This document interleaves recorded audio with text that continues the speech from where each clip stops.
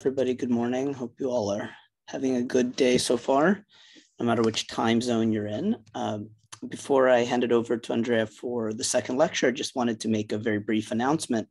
So first of all, you'll see in the Slack channel uh, for the summer school that there's a link now to video for lectures from the first day. I posted them on YouTube, so that's great. And then also I posted the schedule with the Zoom links and everything for the TA sessions. The first TA sessions are gonna happen this afternoon. Um, so see the, the Slack channel for details about that. Um, I think that the TA sessions are a great opportunity. There's lots of questions, not all of them get answered during the lectures themselves. And so the TAs in part can help also process various questions that we don't get to. Okay, so let me, without further ado, turn it over to Andrea and um, yeah. Okay, thanks. Thanks, Boris. Um, yeah, so uh, I wanted to start summarizing, uh, you know, the calculation that we do, did in the last lecture. We we tried to solve and then finish, uh, you know, this introduction to motivation. Uh, we tried to solve the interpolation condition. So this is requiring that at the end data points, you know, the model interpolates the data. And what we found out is that, uh, um, well, we could find under certain conditions, uh, we could find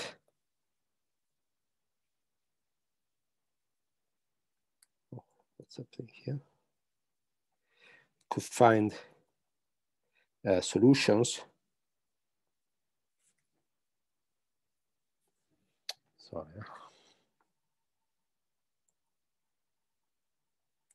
Uh, near uh, solutions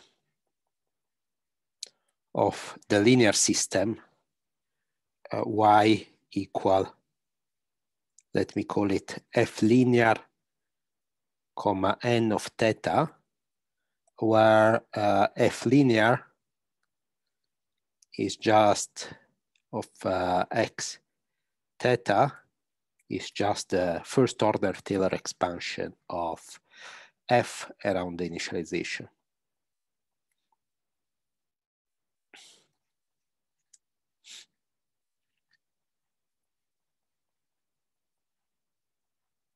The initialization was theta naught.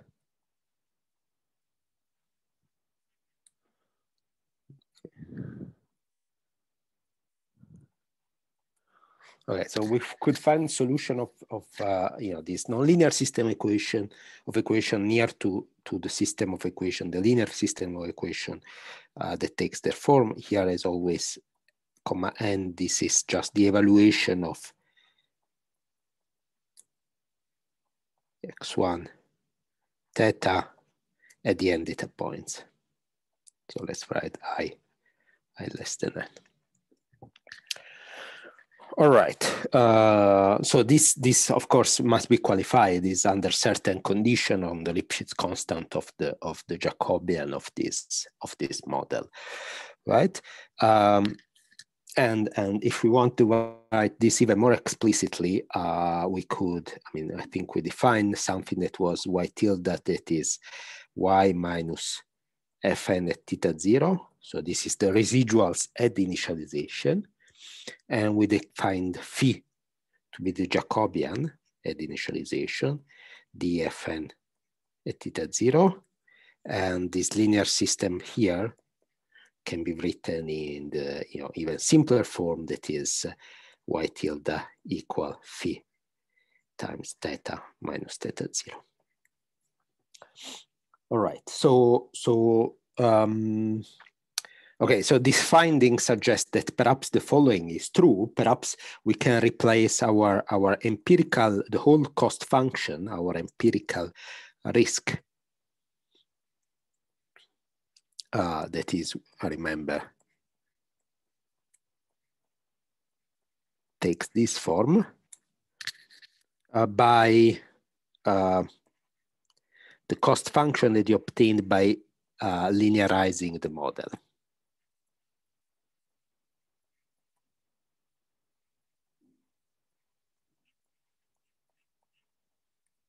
And this is again nothing else that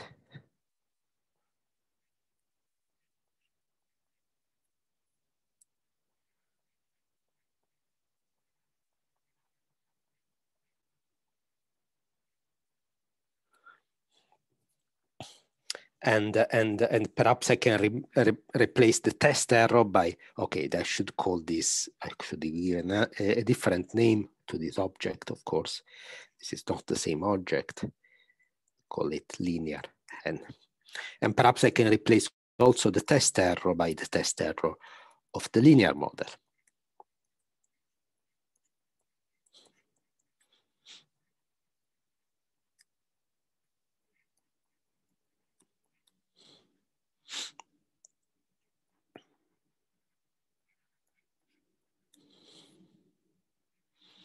Okay, and uh, okay, so so so the punchline is that this is true. Uh,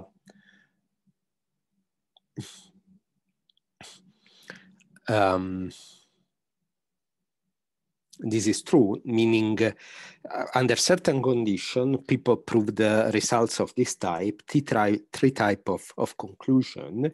First of all, uh, the risk, the, the empirical risk goes uh, uh, so let me write under suitable conditions.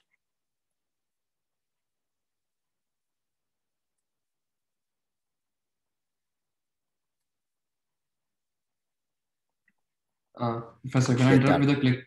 Uh, can I interrupt you with a let me, let me finish the sentence. That is under su suitable condition, the uh, you know Lipschitz constant less than something.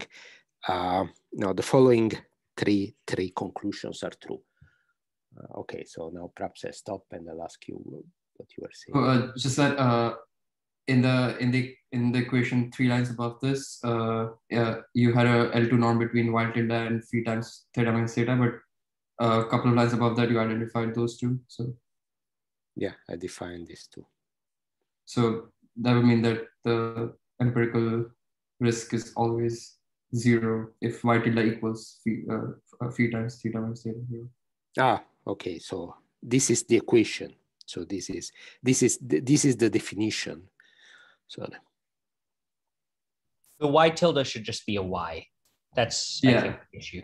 So yeah. y no no no no. Y tilde is y minus fn at theta zero is y minus the residual. Okay so this is a non-zero object. And what i'm saying is that this is the condition for interpolation I see. Okay, thank you. For interpolation. Uh, Andre, I think they're talking about in the definition of R hat lin on the very right hand side. Yeah. You have y yeah. tilde minus y tilde, seemingly. Yes, that makes sense because no, no, no. Uh, this, this, is why this is not you know this is not a definition. This is this is the condition this is the condition for the. Ah, right, right, right. Okay. So this is the exactly the equation. So I'm writing, uh, you know, first I, I derived that the, the, the condition for interpolation that is a nonlinear equation can be approximated by this linear equation. Okay. And then I said, okay, I took a leap of, of faith uh, because I, you know, I don't have time to go in more calculations. And I said, okay, perhaps it's not only the set of minimizers of this nonlinear function that is approximated by this linear set of minimizer, but the whole cost. So of course, you know, as y equal fn of theta is the condition for minimizing this, for getting zero empirical risk in the original problem. Y tilde equal phi theta minus theta zero is condition. The y tilde is a fixed vector and theta is a high dimensional parameter. Okay, so so so you know a, a certain number of paper proofs uh, starting from from uh, probably the first one was Du et al. I, am not giving references because you know it takes a lot of time and and will be always incomplete. But but this whole idea of linearization, uh, you know, started with a paper of Jacot, Gabriel, and Hongler, and and mostly what I'm following is, is, is a way of presenting it that is inspired by a paper of Chizat and Bach, I think. Okay, so but but uh, you know, so these papers and many others show that under certain condition on the Lipschitz constant of the model, the following is true. First of all, the risk, the empirical risk under gradient flow, say, converges exponentially fast to zero.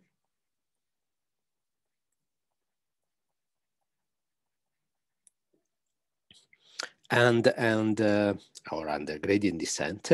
And here the, the exponential rate lambda zero is what you would expect from the linear theory. So it's the minimum singular value of, of uh, phi square. If you do gradient descent in this cost, it's easy to check that, that gradient descent always converges to a minimizer and it converges exponentially fast. And the rate is exactly this lambda naught. And this, this kind of theorem says that, yeah, uh, even in the nonlinear uh, problem, it converges exponentially fast and the rate is up to a constant, the same one. Uh, second, the, the parameters, not only the risk goes down to zero, so this is really an optimization thing, but doesn't tell us a lot about statistics. So if you want to do statistics, you want to say something, for instance, about the parameters, and, and one can derive bounds that say, okay, that the parameters as learned by gradient flow in the nonlinear model approximate, are well approximated by the parameter by gradient flow in the in the linear model in the sense that this is perhaps for instance much smaller than theta t minus theta zero. Okay so what is this fill in is is just the gradient flow in the linear model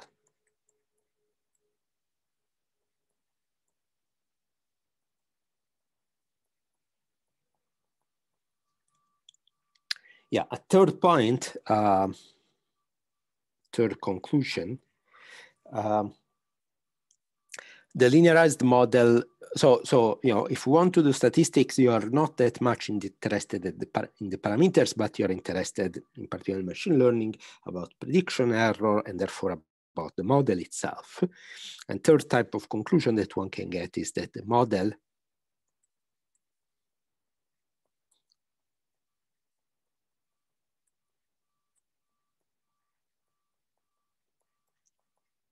is well approximated by, uh, sorry, I should.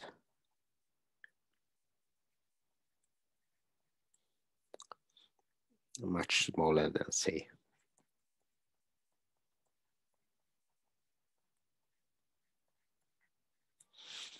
Okay, so let's let's uh, focus for a second about uh, on the on the last conclusion of this kind of theory. Uh, what is this? This is the model uh, that is learned by gradient flow at time t. It is a function f, I put dot theta t, is really the network that, that you have at theta t, and is a function from Rd to R. This is, uh, this other object here is uh, the model generated by the linearized follow.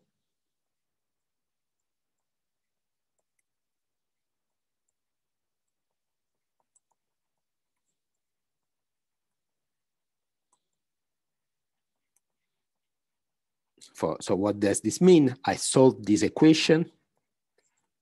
Since r hat linear is a quadratic function, this is a linear ordinary differential equation. And then I stick it into the my, my linearization, linear approximation.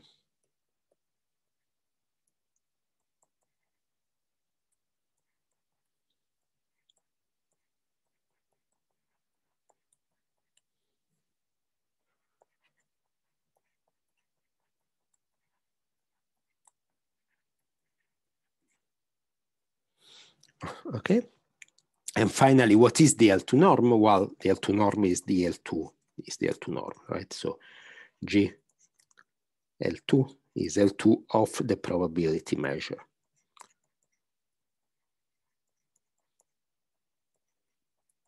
So this is the right way to compare two models uh, since the error is, is L2 error, right? So what does this tell us is that basically for a, when you test the two models at a new test point, on average, they are very close to each other.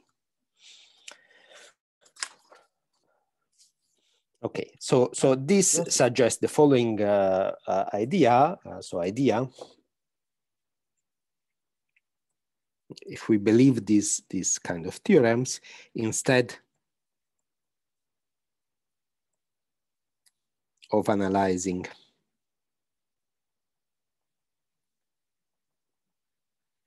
uh, F uh, analyze the linear, which is much simpler. Okay, so perhaps I'll stop one second and see if there's questions. So there was a question by... Yeah, just one clarification. I, I don't know. Uh, the probability measures with respect to the data, with respect to the parameters in the Here, the priority is always with respect to the data. Here, the parameters, there is nothing really random about them. So here L2 is, you know, if I want to write this even more explicitly,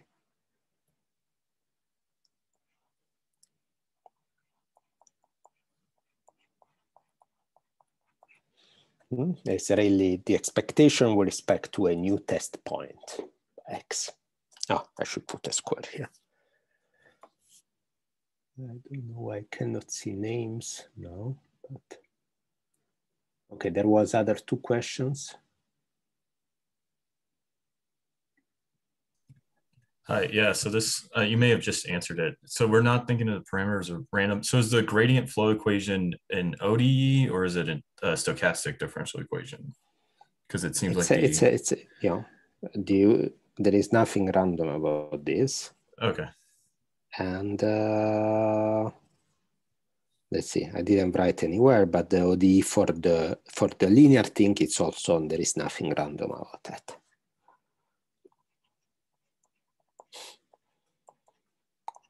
This is the gradient flow that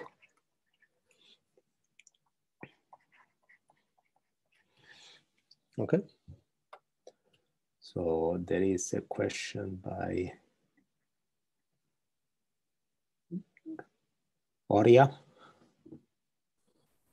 Yes, thank you, Professor. So if I understand correctly, uh, basically instead of working on a neural network or a deep model or whatever, we can just substitute it for a simple linear model instead? Okay, so again, this all you know, as always, when you prove a theorem, the important part of the theorems are always the assumptions, rarely the conclusions, right? So you have to assume something. Now the question is, is this something satisfied in realistic neural networks, right?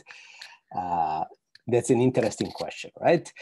Um, there is some debate about that. Uh, my opinion is uh, uh not, not in many, in many cases, not really, right? But there are simulations and experimental data showing that perhaps it's not such a bad assumption, right? So it's not completely clear that, that the linear model is not a good approximation, right? So there are, uh, you know, people, you know, also at Princeton, like uh, Sanjeev Arora group that try to compare, you know, very good linear methods like kernel, you know, very tailored kernel methods to uh, multi-layer neural network, convolutional neural network, and they show that you know, you, you, you, they don't work so badly, so much worse than neural network, but there is still a gap, right? Um, now, the point of view that I'll take in this lecture is that, uh, you know, perhaps there is a gap. I mean, my personal opinion is that there is a gap. This linear theory doesn't really capture, you know, the real power of neural networks. But despite this, is uh, very interesting to assume that it, it's correct.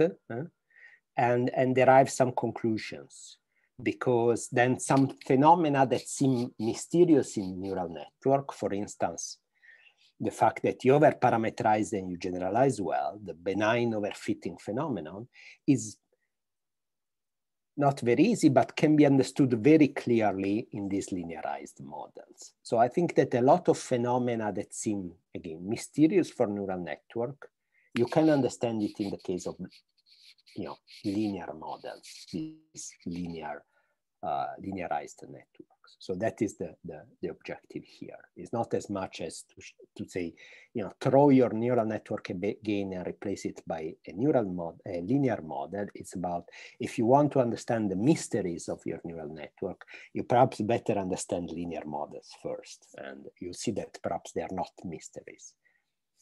There is a question by Min. Hello, uh, I so my question was for like point number three, do we need any niceness assumptions on the input distribution? Do you need any niceness assumption on the input distribution? Yeah, I mean here, um, yeah, of course you need to know something about, uh, yeah, I mean, you can find a theorem that takes this form in the review paper that, uh, that I mentioned in last lecture. And uh, okay, now I don't remember, uh, I could go and look of, at all of the assumption, but for instance, one assumption that is made there is, so you remember that in the, in the, in the last lecture, I, I mentioned the, the Lipschitz constant of the model uh, of, of the evaluation function of, of the Jacobian. So theta, let's say different than theta prime of uh, the fn theta minus dfn theta prime operator norm divided by theta minus theta prime, right? So this is the Lipschitz constant of, of the evaluation function. Now there is a, a similar Lipschitz constant that you can define that is, um, let me call it just L without, without subscript. Um, or perhaps I'll call it L star just to emphasize. So this is Lipschitz constant of the of the model itself, right? So let me write it and then and then comment on it or what it means. Okay, so I'll write it and uh, you know it will seem like I'm writing exactly the same thing, but I'm writing actually something slightly different. Okay, what is this? Uh, it's the following you know, f is of theta, you can think of your model as something that takes a, a, a vector of parameter and splits a function. Okay, a model, this is, you take a vector of parameter and you get a function, right? A parameterized model. So this is a, a, a mapping from RP to L2 over D, MP. Take as input a vector of parameter and split a function. The function better be L2 integrable because otherwise nothing that I'm writing makes sense, right? Uh, okay, and so you know, if you have any mapping, you can define the Jacobian. So what is the Jacobian of f at theta? Is again a linear is, a, is an operator get that goes from this to this.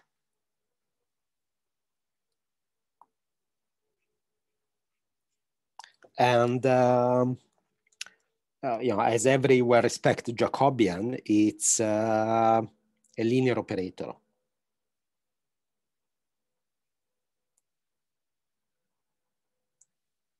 So you can think it as a, the limit of dfn where the number of samples goes to infinity, right? And, and what is this? Well, this is the operator norm of the difference of the Jacobian two point. So now all of this, this object L star, so L star depends on the distribution of the data.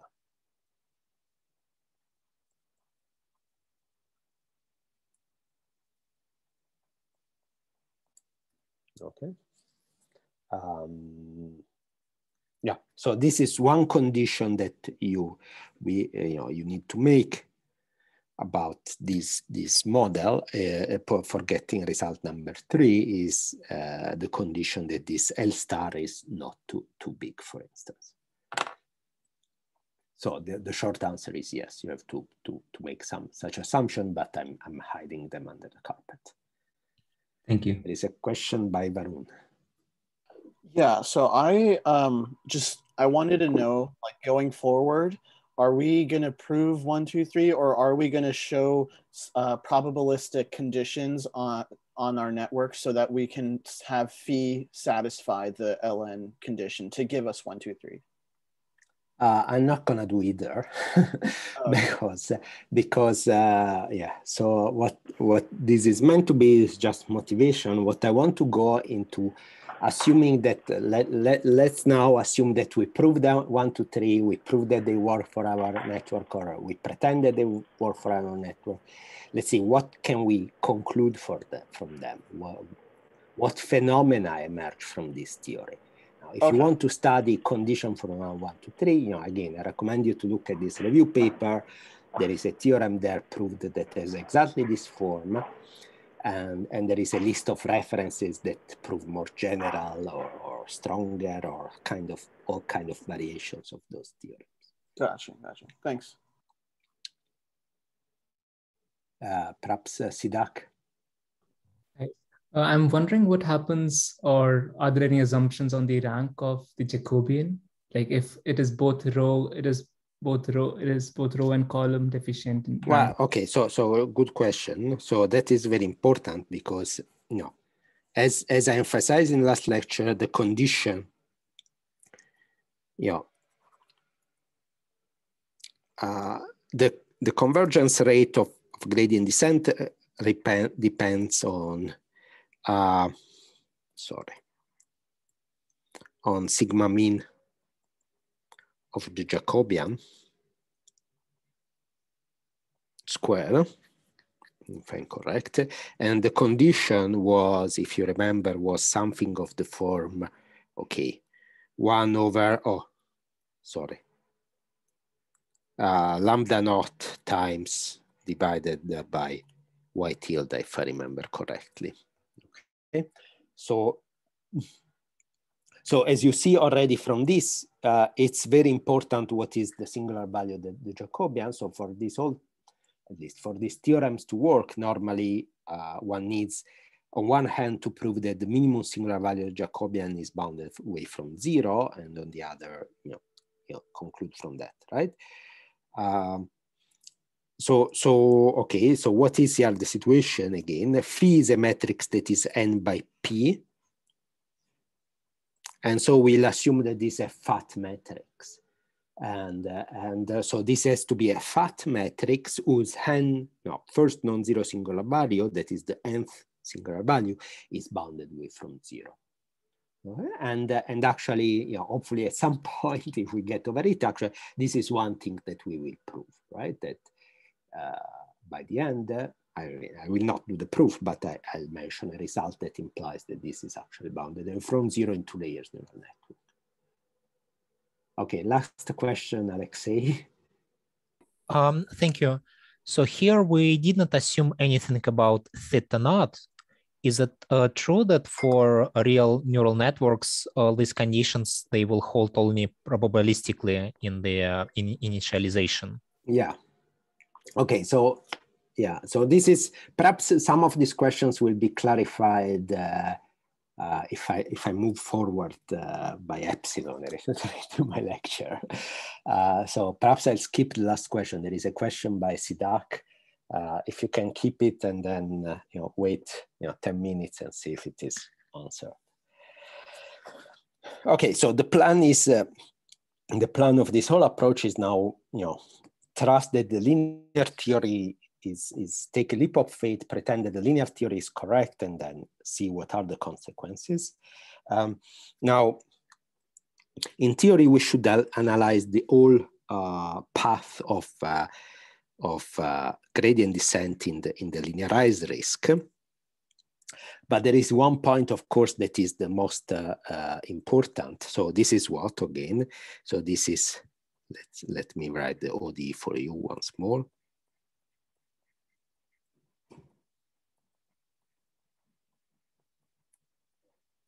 And you know, at some point, I'll, I'll stop writing the subscript linear. So this is minus 1 over n, and then uh, phi transpose y minus phi uh, theta. So very simple linear system. And if you remember, we had this scaling matrix. So there is a plus here. And actually, if you remember, we had this scaling matrix. I introduced for generality this scaling matrix. okay, so it's a simple exercise. And actually, Theodore, I think, will do it in one in one of uh, in his TA session. Is that uh, you know it's easy to compute the you know in the, the limit as t goes to infinity. So we are always at p bigger than n and this is full, full row, low rank, as I mentioned, and it's easy to compute the limit t to infinity of this. Mm. This turns out to be the argmin uh, of theta minus theta naught s minus one norm uh, such that phi times theta minus theta naught is equal to y tilde. Okay, so in other words, you know, the, the linearized flow converges to the plumb point that is closest to initialization, and the metric depends, of course, on the on the you know step size metrics, and that interpolates the data. Okay, so I can write this, of course, also as theta naught plus argmin just by a shift of b s minus one such that phi b equal y tilde. Okay, so so this is the point most interesting in this. In the most inter the last point is the most interesting point in this trajectory. Now it would be interesting to understand this trajectory as a function of t. Uh, the reality that that most works take a compromise and will take the same compromise and and instead of analyzing this trajectory I'll, I will analyze a different trajectory that is the ridge a different path that is the ridge path so what does it mean the ridge path I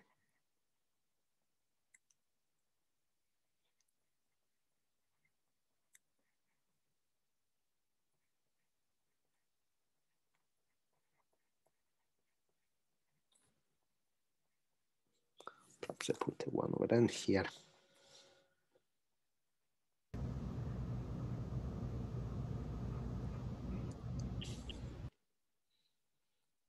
Okay, so instead of looking at its trajectory, theta of t minus theta zero of t, I will look at this b hat of lambda. And, uh, and uh, uh, in particular, the limit, so if I call this and this is okay. Yeah, I can put s minus one on.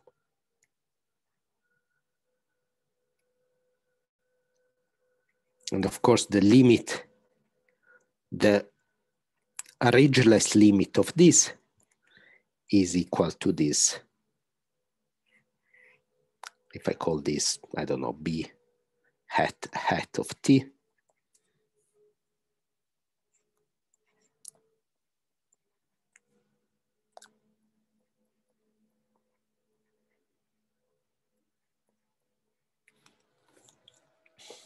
Okay, so the ending point is the same. The beginning point of these two paths is the same.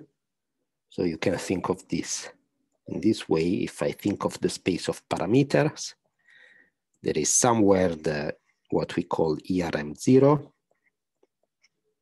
And what we are looking at is, you know, gradient descent starting from it, from a point theta zero.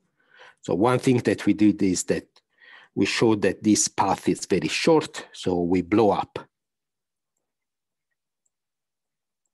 This is what we did. So when we blow up this picture, you get, of course, that this ERM0, this manifold, is basically a hyperplane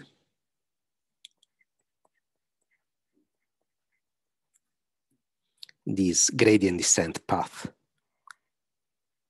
Is some path in this. Uh, this is theta, sorry.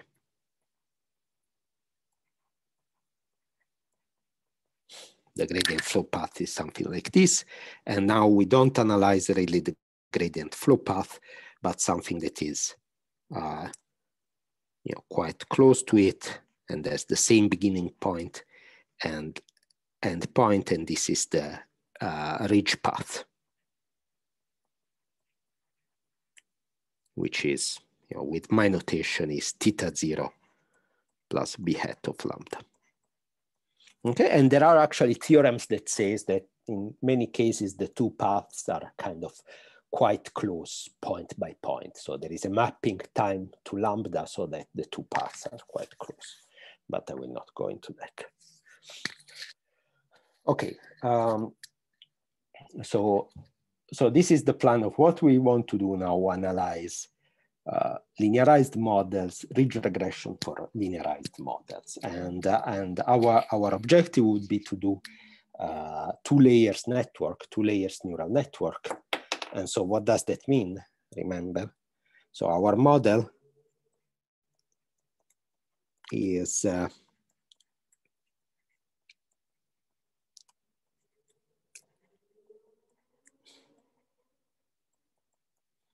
is this one. All right, so of course the first uh, step towards our goal is to linearize this model. So look at what the linearization of this model is. And uh, this is quite easy. Uh, okay, so let's say that this is at the initialization. Uh, or I'll call this the initialization. So the initialization is A1, A n and then w1 wn and then if you Taylor expand okay so I look at f of x theta 0 plus b. Okay so this is okay of course there is f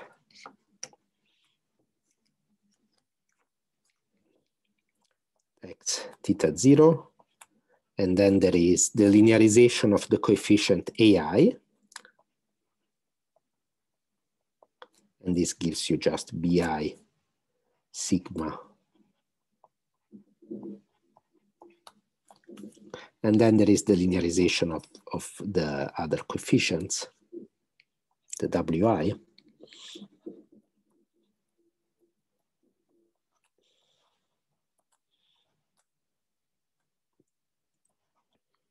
So let me call this, perhaps I call them, let's call this B1I.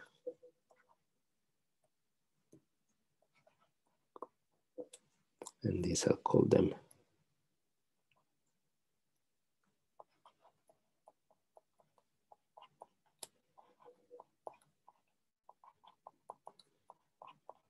and this is the first derivative of sigma with respect to its argument, right? So so this is the, I'm keeping all only the first order Taylor expansion. So this is the linearized model. Okay, and here the vector B is of course a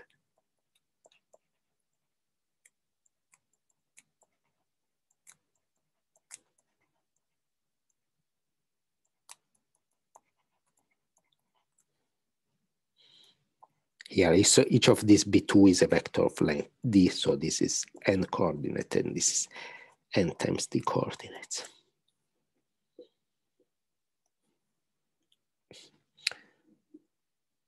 Okay.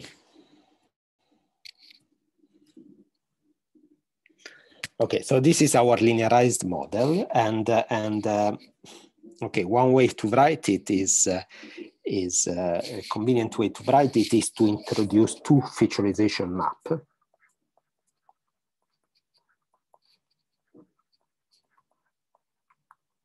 Uh, I'll call them, uh, the first one, I'll call it phi RF. So, okay, I'll introduce a normalization, one over square root of n, and then sigma w1x blah, blah, blah, sigma of Wn x.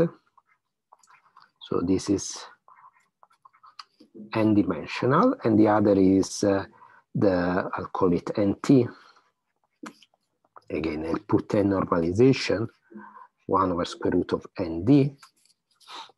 And then this is uh, sigma prime W1x, x transpose, sigma prime Wnx, x transpose, and this is of course in R to the ND. Okay, so so if you if you look at the model uh, that I've wrote up there, you can write it more elegantly.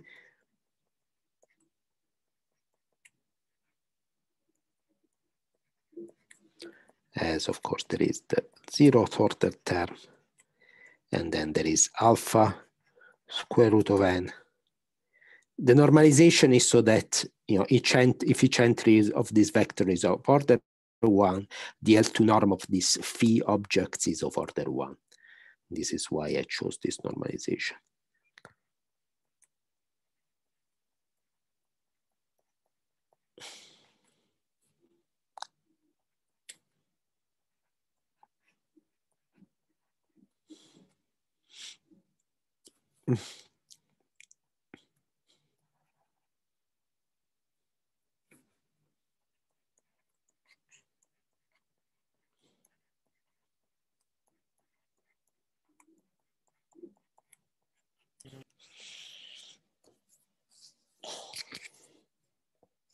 Okay. Um, so, so the model is, is, is very simple, the linearized model, and any linearized model takes this form. You take the data, you encode them in a longer vector using these featureization maps, and then you fit a linear model. My parameters now are these two vectors, B1 and B2. And, uh, and uh, uh, for simplicity, I can define, now I had the scaling factor alpha, I introduced it exactly for a unique goal that is to get rid of these annoying square root of n factors and get something that is nicely normalized. And uh, of course, I can define a, a, a, matrix, a design matrix phi. Now my design matrix phi, what is the form of uh, is phi rf x1 and then phi nt x1, blah, blah, blah, phi rf xn, phi nt xn, and is a matrix, of course, that is p by n as it should be, where p is equal to n d plus 1. Okay, so any question about this calculation? Um, I don't have a question about the calculation, but your screen got a little bit more zoomed out. Can you like, is it okay if you zoom it back in? I don't know how that happened. Oh, yeah. Caesar kind of see. Unfortunately, notability as a binary you know, thing. You know, either full page or zoomed in and. A quick okay. question about the feature maps and the result derived above with the the f lin. So this is the Taylor expansion just with the feature map substituted. This this yeah. So here here what I did is basically I, I took this uh, Taylor expansion up here and I rewrote it in terms of these you know feature maps. I didn't do any any real calculation. It's just notation. Okay, thank you. Um, where did the AI go? The I, the sum over I? No, the AI, the coefficients. Ah, oh, good question. Good question, actually. Um, okay, so I can always reabsorb this AI in the definition of B2. So I should have written B2 prime here, right? Now, there is uh, something to pay attention to. Okay, so reabsorbed, I should write here, reabsorbed, redefined. Now, there is something to be pay attention to is when I look at, you know, in general, the AI are different from each coordinate for each block of coordinates. Um, and so a, a, ridge penalty, so an L2 norm of B2 will not be an L2 norm, will be an, a weighted L2 norm in B2 prime. I can you know, simplify my life by stipulating, you know, for instance, that uh, the AI at the initialization. So these are the second weights at initialization are plus or minus one. Okay, so let's say that that is the case. And so at the initialization, the second layer weights are all plus minus one. Okay, um, so now what I want to do uh, really is to learn this model. And uh, so I'll do something else. I, I redefine B2 by including this square root of D. So I'll take, okay, so I want to now fit these two model with the ridge regression. So this means that I fit this model by choosing B, oh, no, should be too small, by fitting B at lambda will be uh, no, exactly as I wrote before.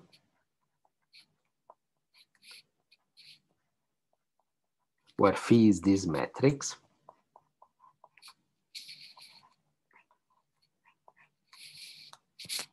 Okay, let's see.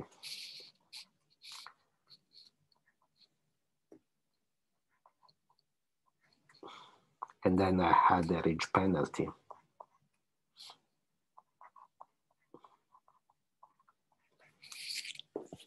Okay, and now, now what I want to do is that I'll take this scaling matrix. Again, this is the reason why I introduced this scaling matrix.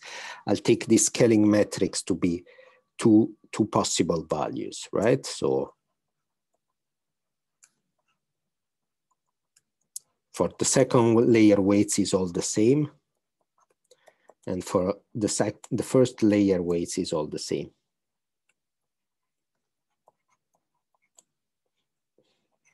So if you do this now, uh, so I update each of the two layers with the same rate. So you get two regularization parameters that is lambda one and lambda two, and you can do yourself the, the mapping between the, the step sizes and these regularization parameters.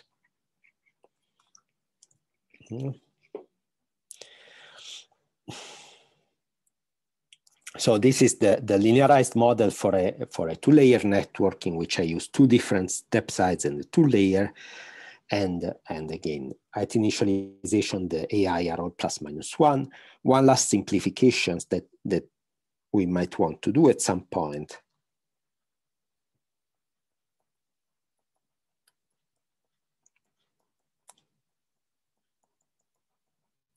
Uh, we have been carrying throughout uh, this y tilde.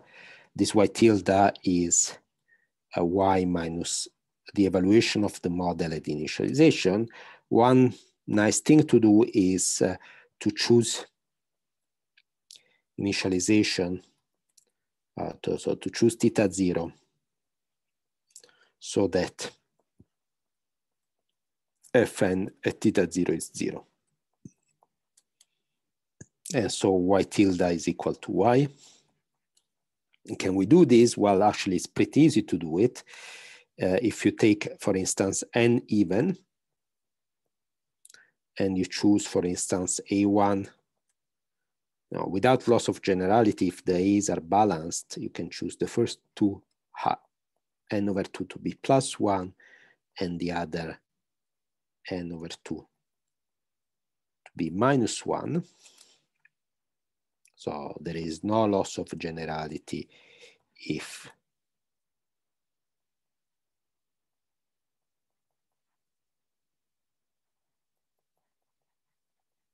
in this choice.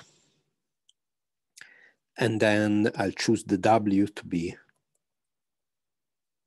uh, the last n over 2 to be equal to the first n over 2.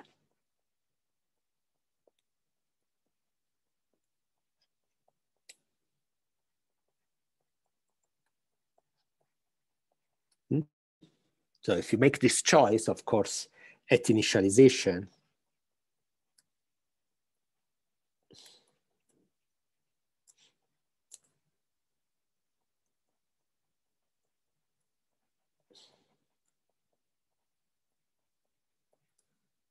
and then there is minus some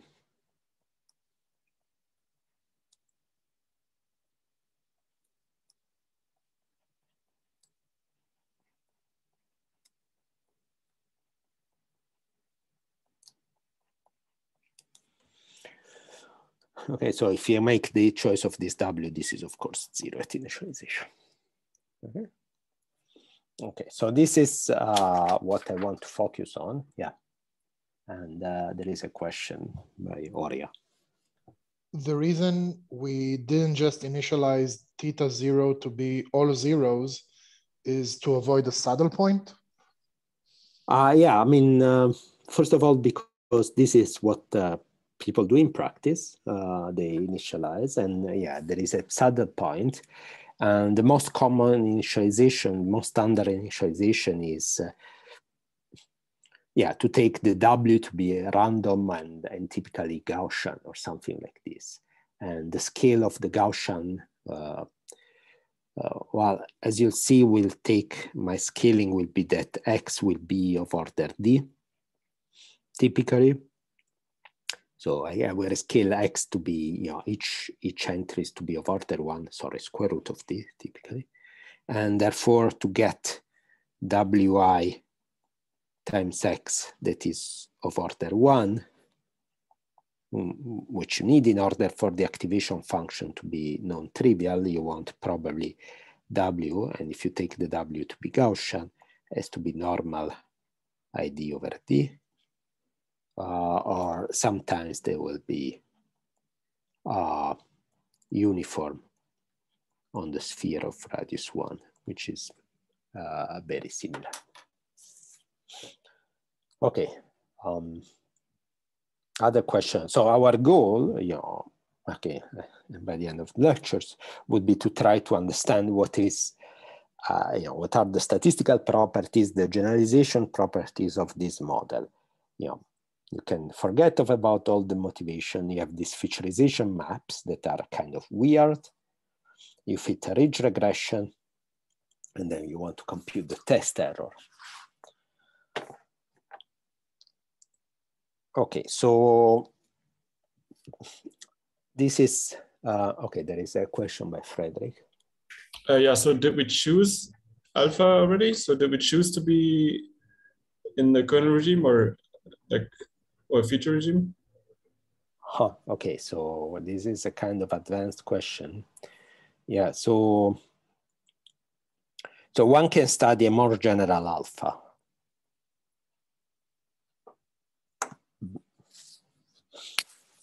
Okay, so what we chose is alpha not equal uh, one. This is what we, we did here.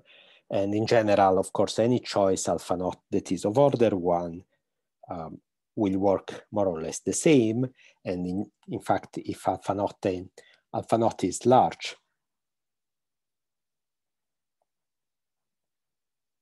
okay, let's say larger or of order one,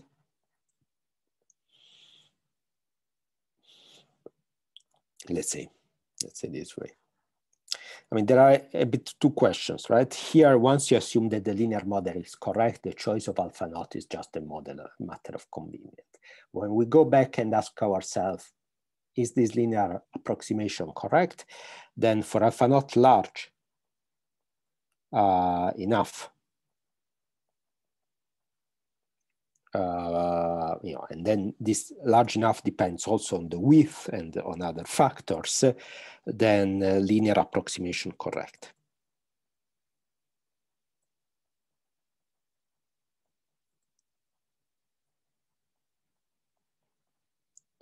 I should say that also you need fn naught of theta zero equals zero. So if you initialize the model to be you know, zero at initialization and you take this alpha naught large enough, then this linear theory is accurate. Namely, the, the, the conditions, the three conclusions that I stated uh, before are, are correct. On the other hand, we know that if alpha naught is small, uh, it's inaccurate.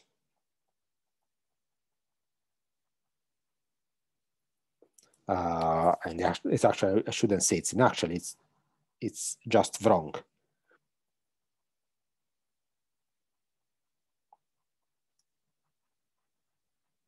And for instance, one regime that has been, one scaling, one other state scaling that has been studied is alpha equal, so alpha naught equal one over square root of n, or of order one over square root of n, which means alpha equals of order one over n. So this is a very different uh, kind of scaling in which basically your network is the average of the neurons. Hmm.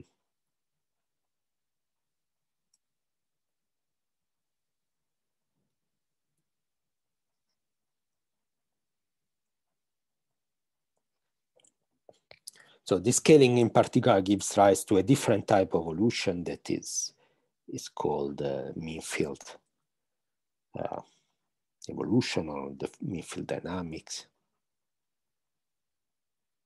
or the mean field theory. Okay, and okay, so that that is uh, is a very interesting different regime. The the yeah, okay, in the in these lectures, I I will just stick to the linear regime for you know, because you know, I want to talk about generalization and yeah, that can be understood very well in the linear regime. Okay, thanks. Okay, so uh, that's great. Uh, so we am basically at the, at the end of my lecture one, according to my plan. Um, and uh, okay, let's say if I if I can say a few minutes. So I'll try to collapse lectures two and three in in one. But let's uh, let me start by.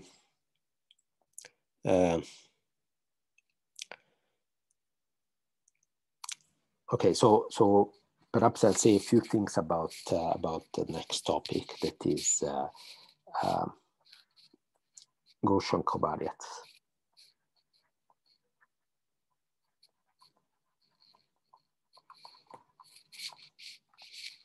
Okay, so despite being extremely simple, these these uh, these linear models are, are, quite rich, and in fact they are uh, already interesting if you look at an extremely simple model that is uh, okay instead of uh, of uh, this complicated matrix phi i replace phi by a, a, a, design matrix that i call z that is np with iid gaussian rows.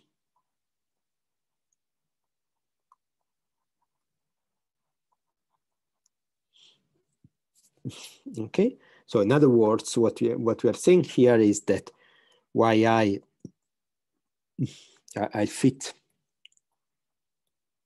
I'll fit again, let me call it beta at lambda equal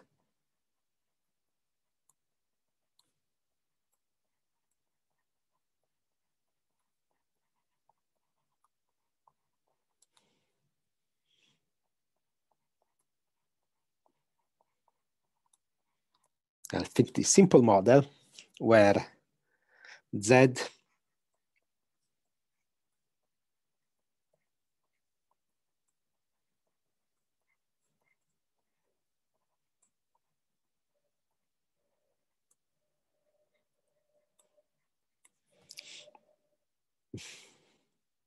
and the ZI are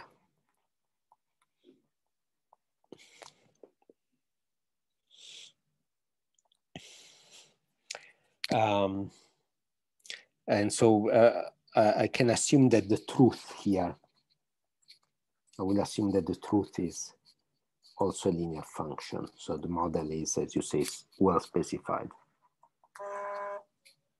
where Wi is noise.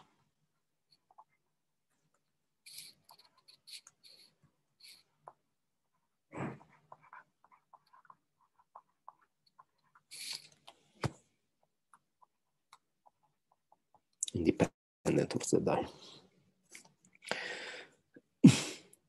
Okay, so let me perhaps briefly say why why this is interesting. So I, will devote, I'll try to devote perhaps half of the ne next lecture to this uh, Gaussian model, but I want to uh, give you a epsilon of motivation before before getting there. Uh, you know, look, traditionally you say that a statistical method works because you know the number of observations you have p parameters. So classical statistics.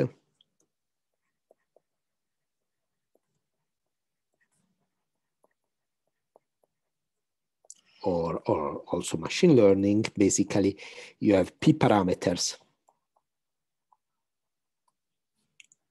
and uh, or let's let me call it classical statistics or naive you have p parameters and uh, this is perhaps significantly less than the number of observation. So you have a certain number of parameters to, to, to learn, to, to estimate, and you have sufficient, you know, at least one sample for each observation. If you look textbooks or all textbooks, that you they would say, you know, perhaps you need six samples per observations. Now, in, in the 2000, etc., there was you know, a explosion of activity and still is going on about high dimensional statistics.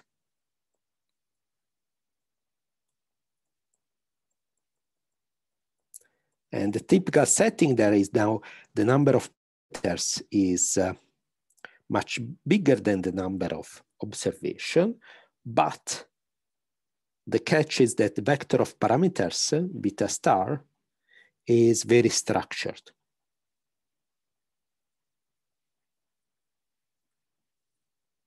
Uh, for instance, uh, only uh, S0 much less than nine non-zero entries.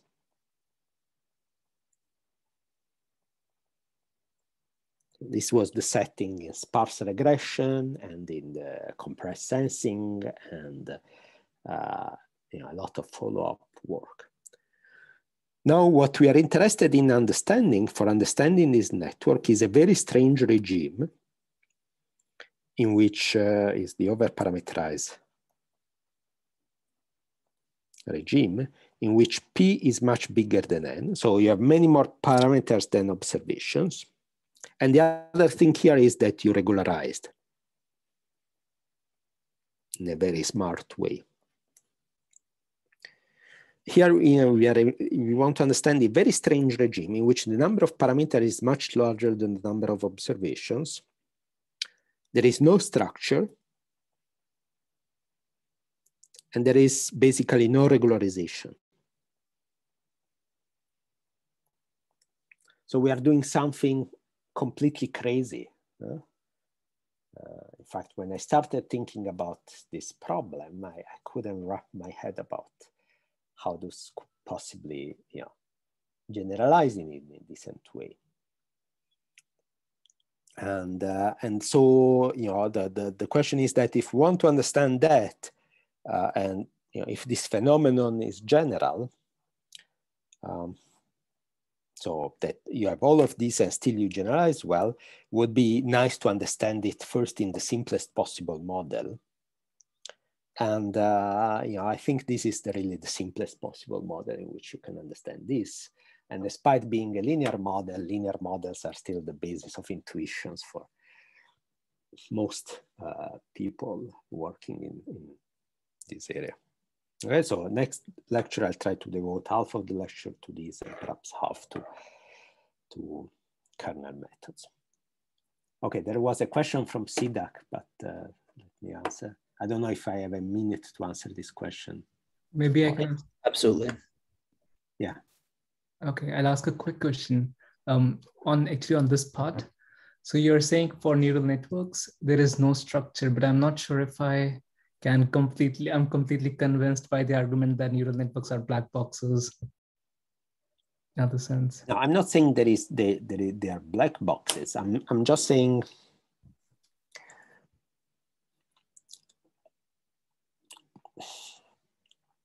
you know, when you train the neural network, uh, say this two-layer neural network, and you get the weights. So now I get, I learn the weights, I train it by gradient descent, and then I learn this vector of weights that are, let's say just, let's focus on the first layer weight, okay, W1, Wn. This is what I call theta, okay?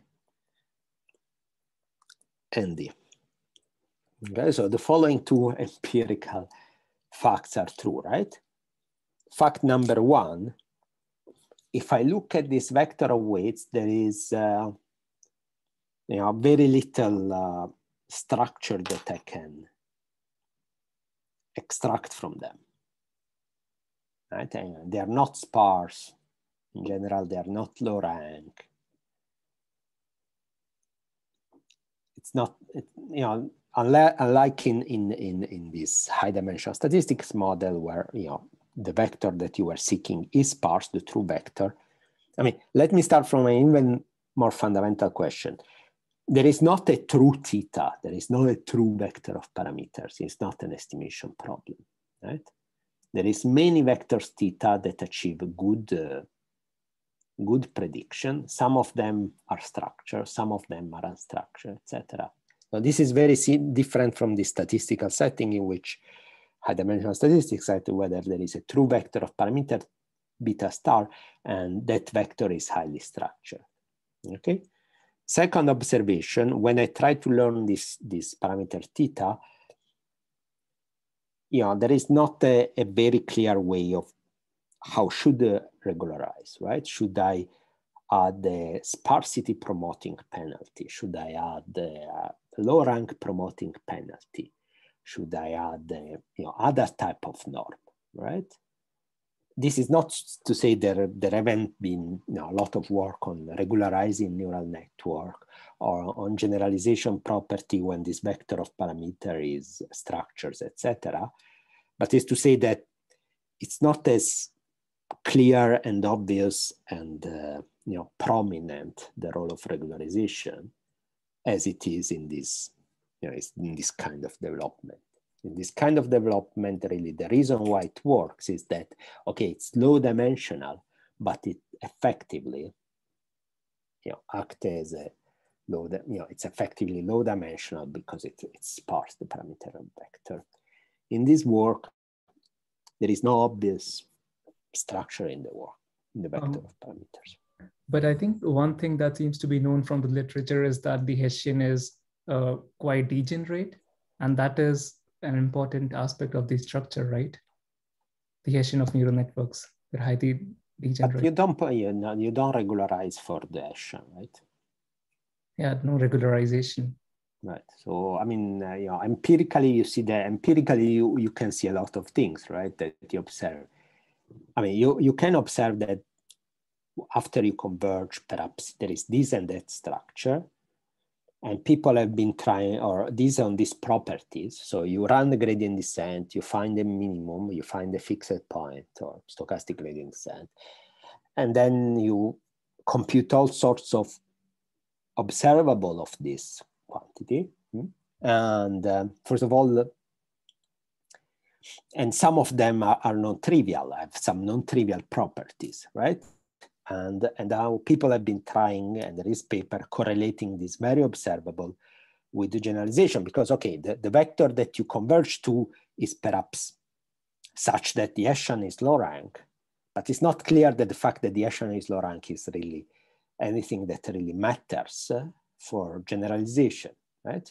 So people have been moving one step forward and say, okay, let's assume that that does let's look at the set of observable there is a, a, work by people at google let's go look at the set of observable and see which one of these observable that we observe on the weights correlate with the generalization property of the network okay so this is a very interesting work and you know some observable correlate better some other I don't remember which one. Some other correlate not as well, etc. So this already tells you that the fact that you observe a structure in the vector of parameters that you learn doesn't necessarily mean to, first of all, doesn't mean that you are regularizing for it. Second, doesn't mean that this leads you to good generalization, right? But if you want, the very fact that now this is a whole research topic in itself uh, tells you that the, the situation is much trickier than it was in high dimensional statistics. When at the outset you say, okay, welcome, beta star is sparse. And what I'll do, I regularize for sparsity by adding L1 norm, right? There is, first of all, there is one true beta star. That beta star is sparse. Since it's the true one, it generalizes well, and I regularize for sparsity. It's a very different situation for say, well, I find a beta star, and let's see what are its properties, right? Right. Yeah. Three more questions. Uh, if I can just add a quick comment on the, on the what you uh, said. Yeah. Uh, we have a, a, recent work which says that for linear networks, Hessians are provably degenerate and the, the rank degeneracy is quite okay, significant. Yeah, okay. And okay, you, you, you can send me the, the, the okay. I mean, there is three more questions, so perhaps. Yeah. I, I had a question about, so when you were doing the last simplification uh, in the RF uh, stuff above. Mm-hmm. Um, maybe I'm like missing something, but what is that? Uh, it's okay. yeah, right here. You pick this theta zero, right? So um, that kind of um, I, I guess I'm curious if this theta zero would satisfy the the condition of um, the Lipschitz constant that we did last lecture because I at least yeah, so, clear in my head. Okay, so so yeah, again, I, I, so if you if you look at this review paper and and okay, I cite that because it's it's something that I remember better than other thing. But you know, there is many papers starting again with Du et al. and uh, other you know, you'll find the theorem of this form. Uh, assume A1, AN in plus minus one as above. Uh, so the first n over 2 and the other n over 2, W1, Wn over 2 are IID uniform on the unit sphere and um, I don't remember what assumption of the data.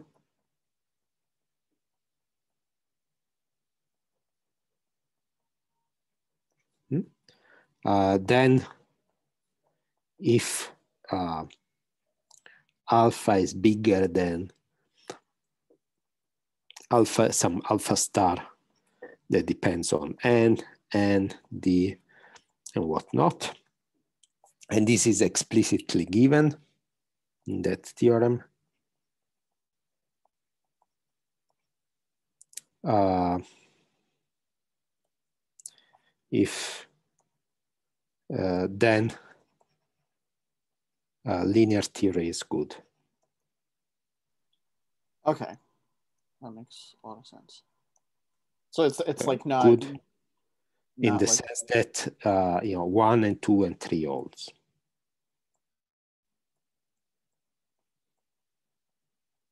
Eh, so eh, it's just to say, so this theorem is just to say that what I'm gonna do is not an empty. there is a set of cases that is, is it's an exist. there is examples that satisfy the assumption that I'm not proving something about the empty set. Gotcha. I, I just wasn't sure if the oh. that choice of theta zero would have like still ruled out.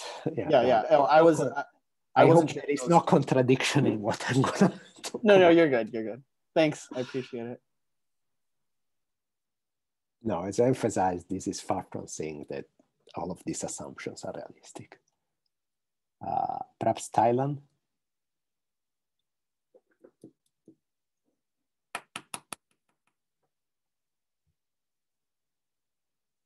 You are muted. Oh, okay. Can you hear me now? Yeah. Okay. So my question will also be about um, the unstructuredness of the weights of the over-parameterized neural networks. So as far as I know, there's some empirical work uh, that shows that the histogram of the magnitudes of these um, weights seem to follow a distribution um, depending on the optimization algorithm chosen. And like, for example, depending on the choice of this ACE scaling ACE S matrix or the choice of different uh, optimization methods, um, SGD or SMD or different methods, um, the weights, the distribution of the, the histogram um, seem to follow an L2 or L1 normalized distribution. So that seems to me that the, the, the optimization simply um, um, implicitly gives a structure on the weights um, um, during the training.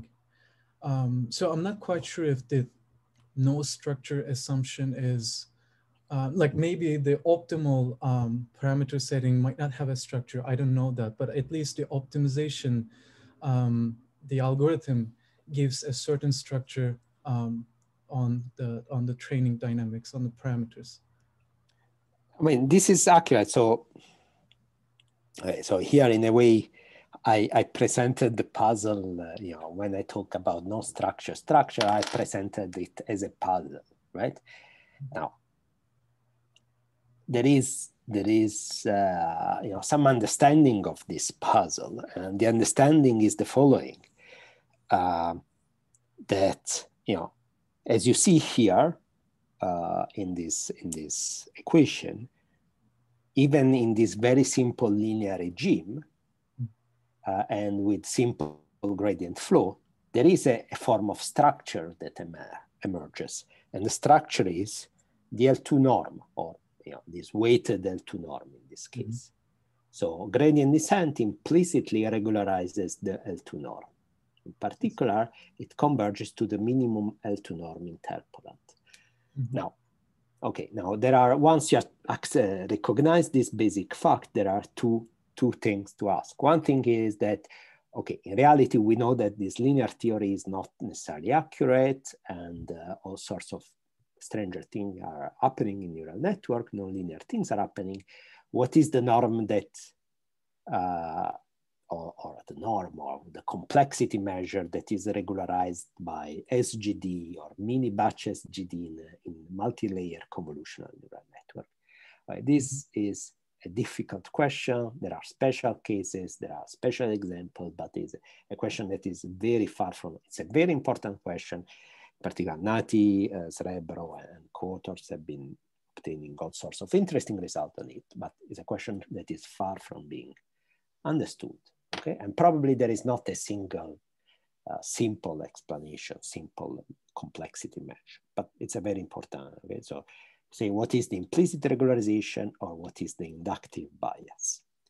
Then there is another question that is orthogonal to it, that is, okay, accept that we have the implicit bias. Like in this linear regime, we know what is the implicit bias. The implicit bias is L2. How is this possible to, that this is sufficient to regularize the network, right? Because I, I'm, you know, if you think of it as, as uh, this is the limit of ridge regression with the ridge penalty equal to zero uh, if you if you take any statistics class, they will tell you that this is a very strange thing to do. And if you read any theoretical machine learning or theoretical statistics paper, this is something, you know, until a few years ago, you would be taught that is something not to be done because in the limit lambda going to zero, you are interpolating the data. So when you are start interpolating the data means that you are regular, you are not regularizing enough. And in fact, you can, you can show formally somehow that uh, you know, if you interpolate the data, then the Rademacher complexity of your model class is too large. Right? So all of uniform convergence theory breaks down in that regime. Okay. So there is a different kind of puzzle is, uh, you know, how is it possible that you have noisy data, you know, the, the cartoon picture that perhaps Misha has shown you, or, or okay, I can draw you if Misha hasn't, is, you know, if you have this data, yeah, you see this, know, and now somebody tells you, okay, this is the data that correlate, I don't know, education to income, right? And you say, okay, how should you fit this data, education to, how should you fit it? You say, okay, I'll fit them like this. I'll take set one, I'll take a, a one, you know, a high degree polynomial and I'll fit them like this. Yeah. If you take an undergraduate class in statistics and you do this, you probably will be, you'll be, you get a bad grade. Rightly so, I would say. but okay, so, uh, and there is, you know, a tons of theory built to show that this is exactly what you shouldn't do. and Rademacher complexity theory tells you that this is what you shouldn't do, right? Mm -hmm. Mm -hmm. And uh, and instead, you know, you just do this and you overparameterize a lot and you just do put a tiny amount of uh, regularization. I mean, the tiny amount means you just, um, among all the interpolation, you find the one that minimizes a certain complexity, for instance, L2 norm, and you're good, right? So that's the, the mystery on which I want to focus somehow. Thank you very much. Okay, there is Frederick had a question as the raised hand for a while. Yeah, so um, this ridge path seems like a very nice tool, um, which I wasn't so very aware of. Um, I'm wondering, is there a reason why we don't just solve the linear equation right away with like singular decomposition, for example? Yeah, yeah, I mean, okay, so I think that many of the things that I'll talk about can be done for the path of uh, in fact, we did some of them already, but published for, okay. the, for the gradient flow path. Um, it's, it's just easier to work with the ridge path. And, uh, All right, okay, thanks. But yeah, it's, it's an excellent uh, research question. And again, I mean, part of taking out the motivation, there are results that says that in a lot of cases, you know, the difference in the risk is one, a factor 1.2. There is a paper by Ryan and Tibshirani, I think, showing that the two are within some, some small factor in linear regression. So, and so there are reasons not to get too excited about doing it, but I think it's interesting. It would be interesting to okay. perhaps I'll, I'll answer the last question from Auria. Uh, I have, I think, some intuition as to why um, increasing the complexity of the model or the degree of the polynomial in your uh, drawing here is a good idea because if we are minimizing the L2 norm, then it stands to reason that as we increase the dimension, the L2 norm of the uh, minimal solution goes down. So the complexity of your solution actually goes down as you increase the dimension, right? Yeah.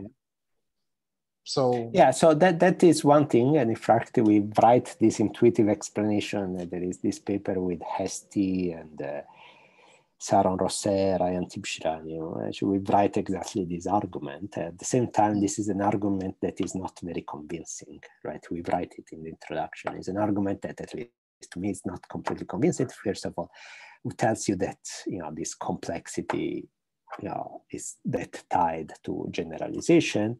And then it tells you okay the complexity goes down. It, it could go down by a microscopic amount right? And uh, so it's it's uh, it's really not clear that you know you want to be more quantitative than that so, right? It's not sufficient to say go down. You know, go down from very extremely bad to very very bad. Generalization is not satisfactory. okay. Uh, I guess I'll stop here and I'll see you on uh, Thursday or Friday. Okay, thanks very much, Andrea, for the very nice Thanks. lecture. Um, yeah, we have a break for about five minutes until the next lecture starts, but it's great. I think it's good to have lots of questions. Um, yeah, so see you all in just a couple of minutes.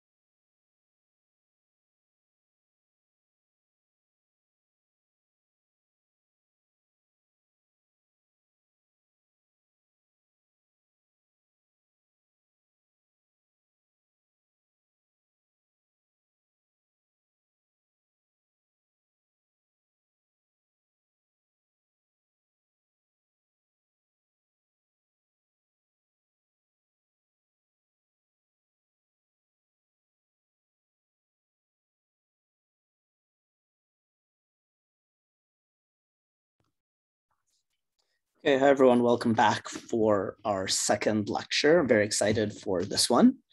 Um, before I let Dan take over, let me just briefly introduce him.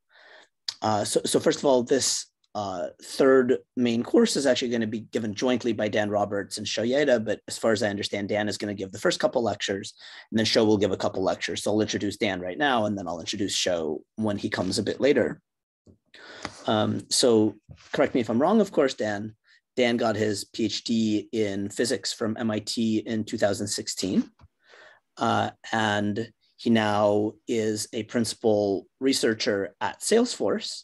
He's also a research affiliate at the Center for Theoretical Physics at MIT at, at, and at the NSF Institute for Artificial Intelligence and Fundamental Interactions, also, I think, mainly based at MIT. Um, so, so Dan is someone who I've known for a little while, and I've really always enjoyed talking about uh, neural networks and various theoretical questions with him. So, so I'm really excited for this series of lectures. It'll be primarily based on a book that was recently completed called The Principles of Deep Learning Theory, which he wrote together with Sho Yaida, and it was based on some collaboration that the three of us had done previously. So uh, with that, please take it away, Dan, and correct any mistakes that I made in the introduction. Thanks, Boris. Um, I think the only only error I noted is that the I should note that the IFI Institute is also at Harvard, Northeastern, and Tufts, I believe. But everything about me was uh, was was great. Uh, great. Um, I didn't realize. Thanks. And also thanks for um, inviting Sho and I here to give one of the the main uh, courses in in in this uh, meal or um, summer school. Sorry, I didn't eat lunch. I guess so. Food is on the mind, but uh, and also I think you basically covered all the material in my info slide, intro slide about uh, what the lectures are going to be based on, um, who it involves. So so thanks for for covering all of that and and for inviting us. So um, so to begin. Um, we'll just start with a brief introduction to what the course is going to be about and um, in some sense, this part doesn't need to be belabored. We're all here because AI is really interesting and exciting right now. Um, and not only is it exciting, but um, artificial intelligence systems are, are very big. They have, they have many numbers of elementary components. Um, and um, so one aspect of, of the lectures that we're gonna cover is going to involve um, the fact that these that these are really big systems that, that we're interested in studying and uh, much of the success behind these systems is, is in the framework of deep learning, which uses um, artificial neural networks as an underlying model for AI. I think given that there's now been three main lectures and day of symposium, uh, I don't have to belabor some of these facts. Um, and uh, finally, uh, it's thought that part of the real power of this framework comes from the idea of representation learning, the idea that uh, deep neural networks with many um, neur neurons organized into sequential computational layers um, can learn useful representations. And um, so um, in, as a high level summary, our lectures are going to be about um, these very uh, large models uh, that, that um, and we'll try to understand how this representation learning property comes about. And so the, the goals overall is to um, understand uh, as close as possible um, realistic deep learning models, realistic neural networks. And hopefully we can put forth a set of principles um, that, that enable us to um, analyze theoretically very deep neural networks um, that, that, that say practitioners would actually care about. Um, and we'll try to understand the mechanisms in these models that, that lead to such interesting results that, ha that have brought all of us here. Um, so to initialize your neural networks to this task, um, in, this, in the beginning of this lecture, um, we're gonna explain at a high level uh, why, why is such a goal even obtainable in, in theory for, for such large and complicated models. And I'll try to guide us um, and explain how we're going to get there in practice over the course of, of the uh, five lectures that Sho and I are, are going to deliver. Um, so to begin, I'm going to give a high level overview of our method and in some sense provide a minimal explanation for why we should expect, say, a first principles theoretical understanding of deep neural networks to be possible. And then we'll, um, I guess, as I already said, fill in the details over the course of the coming lectures. so I assume everyone did their pre-reading, or if not, at least paid attention to some random sampling of the lectures that happened already. So um, I probably don't, again, have to belabor that a neural network is, is some sort of recipe for computing a, a function. Um, and it's built out of many computational units that are called neurons. I've uh, posted a, or this below is a cartoon of graph, well, a graph of a very simple neural network. Um, and um, the neural, each, each uh, circle represents a neuron and each neuron is, is itself a very simple function that considers a weighted sum of incoming signals and then fires in a characteristic way by comparing the value of that sum against some threshold. And neurons are then organized into parallel layers as the, the figure demonstrates. Um, and deep neural networks are those that are composed of many multiple layers in sequence. And um, hopefully this is just all familiar to, to everyone. So the structure of neural networks are, is going to be very important for what we're going to say. But for a moment, let's just ignore all the structure and simply think of a network as some sort of complicated parameterized function, f of x um, parameterized by theta, where x is going to be the input to the function and theta is some sort of vector of a large number of parameters controlling the, the shape of the function. So um, for, for such a function to be useful, we need some way to tune this high dimensional parameter vector theta. So um, typically what, it, what is done in practice uh, is we choose some initialization distribution by randomly um, for, for the parameters and then we randomly sample um, the parameter vector from some sort of computational, com from some computationally simple probability distribution, um, P of theta. And typically the parameters are say IID Gaussian distributed. And uh, in the following lectures, we're gonna say quite a lot more about this. Uh, this is just, again, a high level picture of of, of how things are typically done in practice. And then second, we adjust the parameter vector um, in some way such that the resulting uh, network function f of x uh, um, parameterized by theta star is as close as possible to some desired target function f of x. Um, and, and this is called uh, function approximation. And typically this sort of thing is useful when there's a function um, that that is very easy to describe. For instance, you know, is the input, if it's an image, does it contain a cat or not, but would be hard to um, algorithmically define a set of rules as, as is done in traditional programming that would, that would output that function.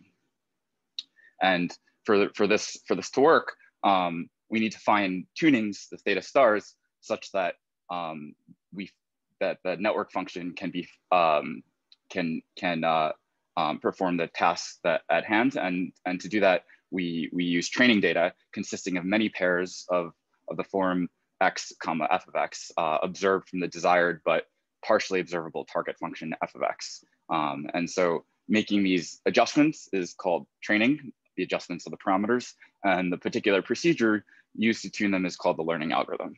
Um, and what we'd really like to do is understand the macroscopic behavior of this function from a first principles microscopic description of the network in terms of these trained parameters. So in other words, we would like to understand why a particular function or maybe a distribution of functions um, make some predictions, say whether certain images contain cats or don't contain cats or understand how they make those predictions, um, starting from a description of the function in terms of its constituent components, like the weights and the biases. Um, and given, as, as has already been emphasized by some of the other lecturers, the high dimensionality of the parameters and the degree of fine tuning required for, the, for this approximation, this, this goal in principle might seem naive and beyond the reach of any uh, theoretical approach. So um, let's, let's, let's think a little bit more in detail about why, why this, such a thing is, is going to be so hard and um, maybe analyze what sort of problems that we might encounter. So uh, one, one way to see the kinds of technical problems that we'll encounter uh, is, is to Taylor expand our trained function, f of x parameterized by theta star, around the initialized value of the parameters theta. So we start um, from some random sampling of p theta um, with some initial parameters and then through some procedure that I outlined on the past few slides, we arrive at some theta star. So now we're going to express this fully trained network uh, a Taylor expansion around the point of initialization. Um, and here um, I'm being entirely schematic and ignoring for a moment that theta is a vector and the derivatives of, of f are, tens are, are tensors. Um, and uh, so, so uh, we'll, we'll return to this in detail later, but this is just meant to be schematic. And the Taylor expansion illustrates that, uh, sorry, um, and I, don't I forgot if I said this, but the derivative should be taken to be evaluated. The initialized value of the parameters, it should make sense to you as a Taylor expansion. Great. Um, so this Taylor expansion is going to illustrate that there are three main problems that we're going to have to overcome in order to describe the fully trained uh, networks. So first, uh, in, in general, uh, the Taylor series is going to contain an infinite number of terms. And in principle, we need to compute them all. Uh, more, more, more specifically, as the difference between the trained and initialized parameters becomes large, so too does the number of terms needed to get a good approximation of the trained network function f of x when parameterized by theta star. Problem number two, since the parameters are randomly sampled from p of theta, as I described, each time we initialize our network, we're gonna get a different initial function f of x parameterized by theta. And we, we need to determine the mapping um, that takes us from the distribution over parameters to the distribution over the network function and its derivatives. So um, each, each term is, uh, in the Taylor expansion is really a random function of the input x. And this uh, joint distribution, this p of f and its derivatives, is gonna, in general, have intricate statistical dependencies. Um, and even if we set aside for a moment the infinity of functions um, that, that we discussed on the previous slide with the first problem um, and consider the marginal distribution over the network function only, so P of F, um, there's still no reason in general to expect that it's analytically tractable. And in general, um, it won't be analytically tractable. So these first two problems in some sense are really about the statistics of the network um, at, at, initialization. So due to this sampling procedure for the parameters and the way we're, we're defining these functions, um, there, there's some complicated statistics um, that, that are needed in order to understand and describe the, these models. Um, so, so these first two problems are gonna be about statistics. The third problem is, is kind of orthogonal to the other problems and it's, it's more about dynamics. And so the, the final thing that we, we would need to understand is um, is is how to compute the learn value of, of, of, of the parameters theta star. And in general, it's the result of a complicated training process. And um, in general, it's not unique and can depend on literally everything. So here um, we see it can depend on um, the initial value of the parameters. It can depend on the function at initialization and the infinite number of the derivative terms. It can also depend on the choice of learning algorithm that we used in order to uh, uh, find theta star. And of course, it's got to depend on the training data because it has to depend on the on the task that we're trying to accomplish. I mean, that that last part is in some sense um, makes should make should make sense. Um, so um, and in general, determining an analytical expression for theta star must take all of this everything into account.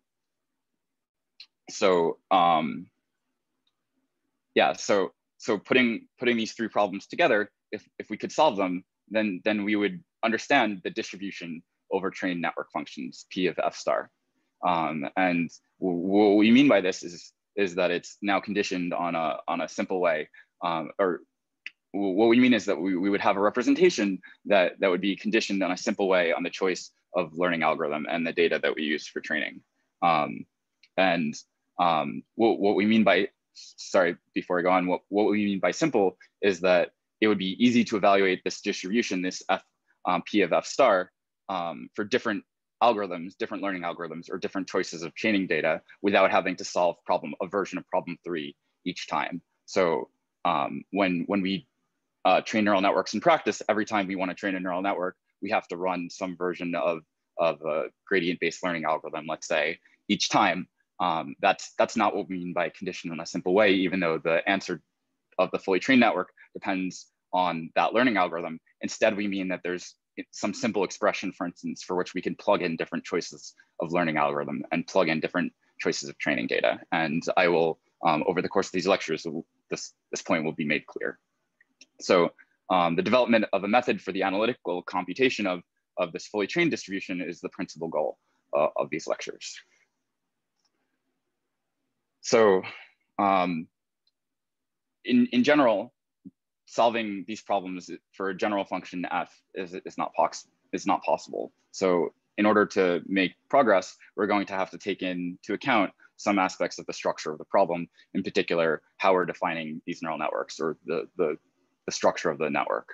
Um, and so um, luckily we only care, we don't care about general functions, right? We only care about, or the things that are interesting for this problem right now are the functions that are deep neural networks. Um, so I've um, um, illustrated a, a, network again. And um, yeah, so while the specifics of how this works is going to be covered in detail over, over the coming lectures, uh, again, right now I'm just gonna try to give some, some uh, intuition for, for how the complications, the three problems that I described on the previous slides can, can start to be resolved.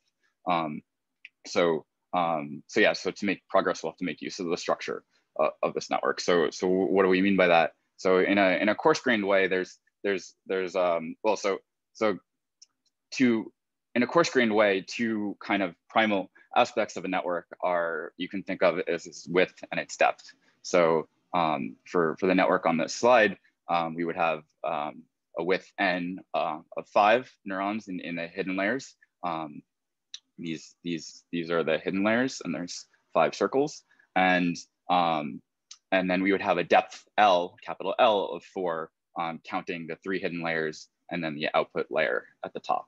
And so these are in some sense a coarse grained way to think of the structure of this, this simple kind of network. Um, by the way, I, I, guess I assume most of you are familiar or you read um, our pre-reading, but this type of network is called a, a multi-layer perceptron. Um, in modern terms, it's sometimes called a fully connected network. And much of what we're going to talk about is, is, is going to focus on, on deep multi-layer perceptrons, deep MLPs, although the framework in many ways can, can um, carry over to, to um, other deep learning models, but this will be our primary focus.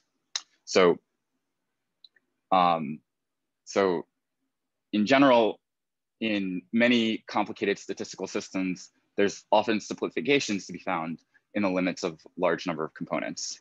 Um, and uh, this, this potentially is familiar to you if you're familiar with statistics under the idea of the central limit theorem. Um, it's familiar to people that study physics in terms of say why we can describe the gas um, in, in, in the room. Um, there's, there's a large number of gas molecules in the, in the room and, and um, in the limit of a large number of molecules, we're able to have a very simple thermodynamic description of how the gas works. And um, in many systems, um, it's natural to sort of ask in the limits of large number of components, whether there's um, simplifications that can be found. And given, so given the, the sort of two coarse grained ways that we're looking at this very simple network structure, there's kind of two primal ways that we can make a network grow in size. We can increase its width by holding its depth fixed, um, or we can increase its depth by holding its width, width fixed. Um, and um, it'll turn out that, uh, yeah, it's not, it's not enough to just consider any massive macroscopic system. Uh, taking the right limit actually requires some care. And what, what we're going to find is that in this case, the, the, the limit where we let the width grow, holding the depth fix will make everything really simple, while the limit where we let the depth grow, holding the width fix is really hopelessly complicated and also useless in practice. So um, I guess that's just a caveat to be careful when studying these sorts of limits, but luckily there is a nice limit and we'll explain, um, I'll try to give intuition on the next few slides why it's, why it's simple and why it's interesting. Um, and so the simple thing to do, as I was saying, is to take the limit where we let the number of neurons in, in the hidden layers uh, go to infinity. And this is an idealized neural network limit, and uh, which is known as the infinite width limit. And as a strict limit, of course, it's rather unphysical. You, you can't directly program a function to have an infinite number of components on a finite computer. Um, so so the the utility of this limit is is not to uh, is, is as a starting point for trying to understand these sorts of functions. And importantly, we're going to go beyond this limit to try um, to try to understand um, whether these. Well, first we should ask whether whether, despite being unphysical, it provides a good theoretical model for for for real networks that that that exist on on computers or you know in the cloud and GPUs. Um, so so that's the first sort of question, and then in the cases where it doesn't, we want to understand how to extend our theory to go beyond this limit. But in any event, um, often it's good to start at a simple point and, and then slowly add complexity. So this is a simple place to start. Um, and as, as I'll explain on the next few slides, this extreme limit um, does massively simplify the distribution over fully trained networks, um, rendering each of our problems, three problems um, that I discussed completely benign. And as a preview of how that works, let me just overview what that looks like. And again, these details will be covered um, in, in the coming lectures. So first, uh, addressing the first problem of the infinite number of terms in the Taylor expansion, uh, the higher derivative terms at infinite width are going to effectively vanish. And so we only need to keep track of two terms, the function and its derivative at initialization. Addressing the, the second problem, the distribution of these random functions of the function and its derivative are going to be completely independent. Um, and each marginal distribution factor is going to take a simple form. So not only do we not have to compute a joint distribution of an infinite number of, of, of functions, um, we also find that of the two functions that we joint we have to compute a joint distribution of two functions and they're independent and, and actually quite simple. And then finally, addressing the, the, the dynamics, the issue of the dynamics, um, the uh, training dynamics are going to become linear and independent of the details of the learning algorithm in this limit. So we're going to be able to find theta star, the, the fully trained parameter vector in a, in a closed form analytical solution. Um, and that's not going to notice, it doesn't, um, the, the words learning algorithm don't appear after the semicolon. So we only have to, it's only going to depend on, on the function and its derivative and perhaps the initialization, and then of course the training data in a simple way. So things are very simple in this limit, and uh, we'll explain we'll explain how uh, in in the coming lectures. Um, and really, these these simplifications and and and in some sense the this whole notion of large number of components making things simple is is a consequence of a kind of principle of sparsity.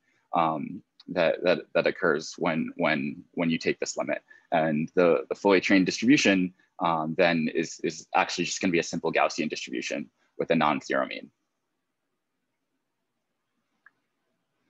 On the other hand, or uh, uh, unfortunately, I should say, uh, this limit is, this is in some sense too simple. Um, and so the, the formal limit uh, leads to a poor model of, of a deep neural network in practice. Um, and uh, yeah, so so in other words, oops, something happened. There we go. Um, the in other words, what, what we find is that the infinite not only is infinite width limit, not only is infinite width an unphysical property for a, a network to possess, but the resulting uh, train distribution leads to a of, of such networks leads to a mismatch between the theoretical description um, that this theoretical model that we're talking about and the practical observations for networks of, of more than one layer. Um, and for, um, to, to elaborate on this further, one point that I think some people have brought up uh, in particular in the last lecture and, and just is empirically motivated fact, but at least I'm, some of you seem to be aware of this, is that the distribution of real train networks do, do depend on, on the properties of the learning algorithm used to train them. So that's that's one point of mismatch. Um, second, uh, infinite width networks don't don't learn representations. So for for you know any any input, um, the the hidden layers are are not um, learning um, uh, useful features from the data and transforming the data in some way that can then be used um, in in some sort of um, coarse graining type process in order to in order to uh, solve the task at hand, which is uh, Um, I didn't give evidence for this, but this is thought to be one of the important uh, properties of, of, of, deep neural networks. And in particular, it's a property of, of, of neural networks that have, well, I said deep, but it's a property of neural networks that have expected to be an important property of neural networks that have many, many layers. Um, and so, you know, this as, as kind of the, uh, I guess, one other, the, the, the notion of representation learning is often used to describe in a heuristic way what neural networks are, are doing. Um, for instance, if you have an image of a cat, it's a cartoon of what the way a classification works is that each layer would then start with very fine grained features. For instance, you'd start at the pixel level, and then you would uh, learn to detect properties like fur, and then maybe you would learn to detect properties like tail and, and whiskers, and then you would learn to detect properties like like head and body and and sort of this sort of coarse grain notion of of of, of feature learning is is part of the heuristic description of how um, multi-layered neural networks work. And assuming that um, or and it is also supported by by some empirical studies. So yeah. so this uh yeah go ahead. Representation learning uh, i'm sorry i didn't catch that. Join করে শুনতে পাচ্ছি I, I, I can't I can't understand. Uh, can I take this opportunity to ask a quick question? Uh, yeah, go ahead. Uh, so in, in the previous slide, when you said that uh, the learn fun uh, function is a Gaussian distribution, uh, a yep. non-zero mean Gaussian distribution. Uh, yep. so is that saying that we start uh, at initialization, it's a zero mean Gaussian and then the mean shifts as we train or? Um, yeah, yes. Um, uh, the typically that that's that's the case. Um, I mean, it depends on how you pick your initialization distribution, and, and Sho Sho will cover that in in a, in a subsequent lecture. But um, I mean, maybe it's simple enough to say that that the network output at initialization is one Gaussian distribution, and then the fully trained one will be a different Gaussian distribution, and we'll cover the details. Okay, thank you. So, so uh, yeah, go ahead. So essentially, uh, infinite width neural networks are linear regression models with uh, kernel feature mapping in the kernel regime. Yeah, we'll we'll talk about this. Okay. So, yeah, you you I think you know where this is going. So so we'll talk about this. The um, kind of the I would say the well um, let me let me continue, and and um, I'm sure you'll you'll be satisfied.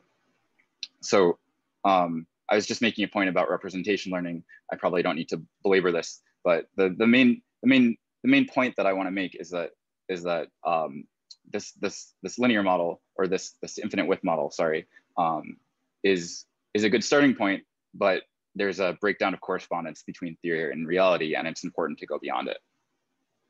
So let me um, continue. Um, and yeah, so so paraphrasing von, von Neumann from, from, from the beginning of the slide, really the, the central limiting problem here is that the input of an infinite number of, of signals to each neuron is such that, that the law of large numbers it kind of obscures the correlations between the neurons that, that can get amplified over the course of training for realistic networks um, and which lead to representation learning. And, and we'll discuss in detail how this works. But I, at a high level, the, the point is that, that there's, there's these correlations between neurons that get obscured in the infinite width limit within a layer. And we need to find a way to restore and then study the interactions between neurons that are present in these realistic finite width networks.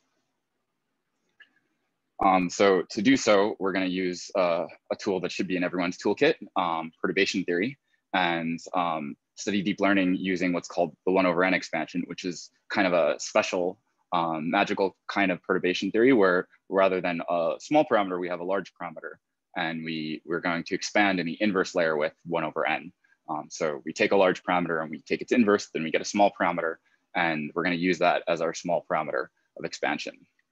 Um, and so we can take the fully trained distribution P of F star and we get uh, a series. The first term is that infinite width limit, the Gaussian distribution that I discussed on the previous slides. and then there's going to be a sequence of, of corrections.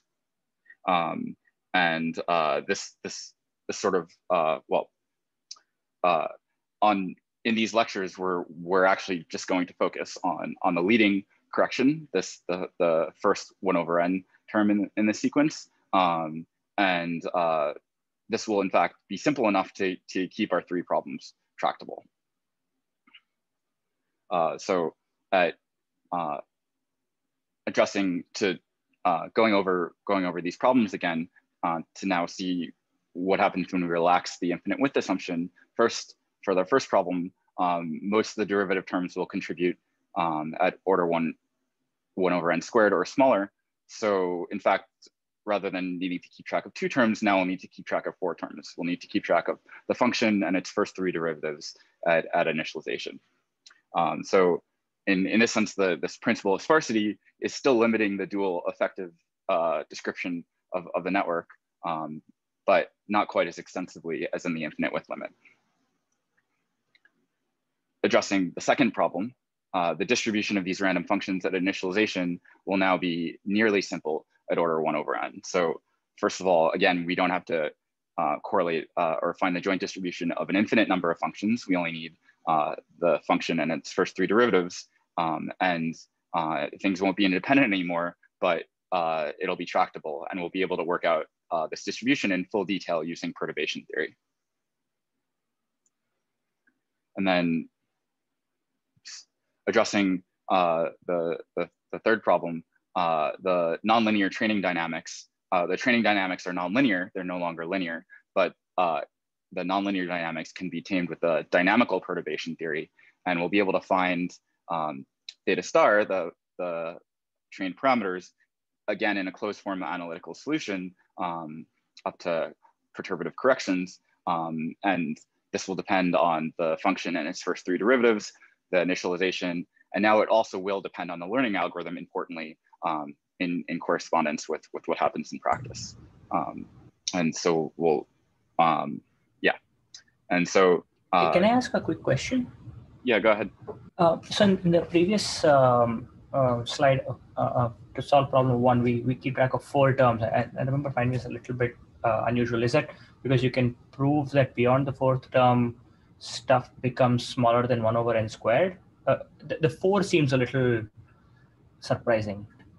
Yeah, it's surprising, but that's that's that's the phenomenology of, of MLPs. You you um, so uh, I'm not sure I have a better answer than that. What, what you said at the beginning is is true. Um, you can show okay. that the higher order terms are suppressed at order one over n squared. So if you're truncating at order one over n squared, and I'll discuss why that's a, a reasonable thing to do, then you don't care about anything else. Just like um, these terms scale like order one over n. So when you're studying the infinite width limit, you only care about these terms because in the infinite width limit, things that are one over n are treated as zero. Um. And so awesome. Thanks. Mm -hmm. So, so yeah, so these these are now near simplifications, if you will, um, and are again a consequence of the idea that things simplify when you have a large number of components. Although now we're backing off from that very strict limit, um, and our dual uh, effective theory description of these fully trained um, network distributions at truncated to order one over n um, will, will now be a nearly Gaussian distribution. So it won't be Gaussian, uh, and it will have high order um, cumulants or connected correlators that are non-trivial and we'll be able to characterize the interactions between neurons and also understand things like representation learning. So um, this is a preview. I didn't prove anything. We're going to explain this in detail over the course of the lectures.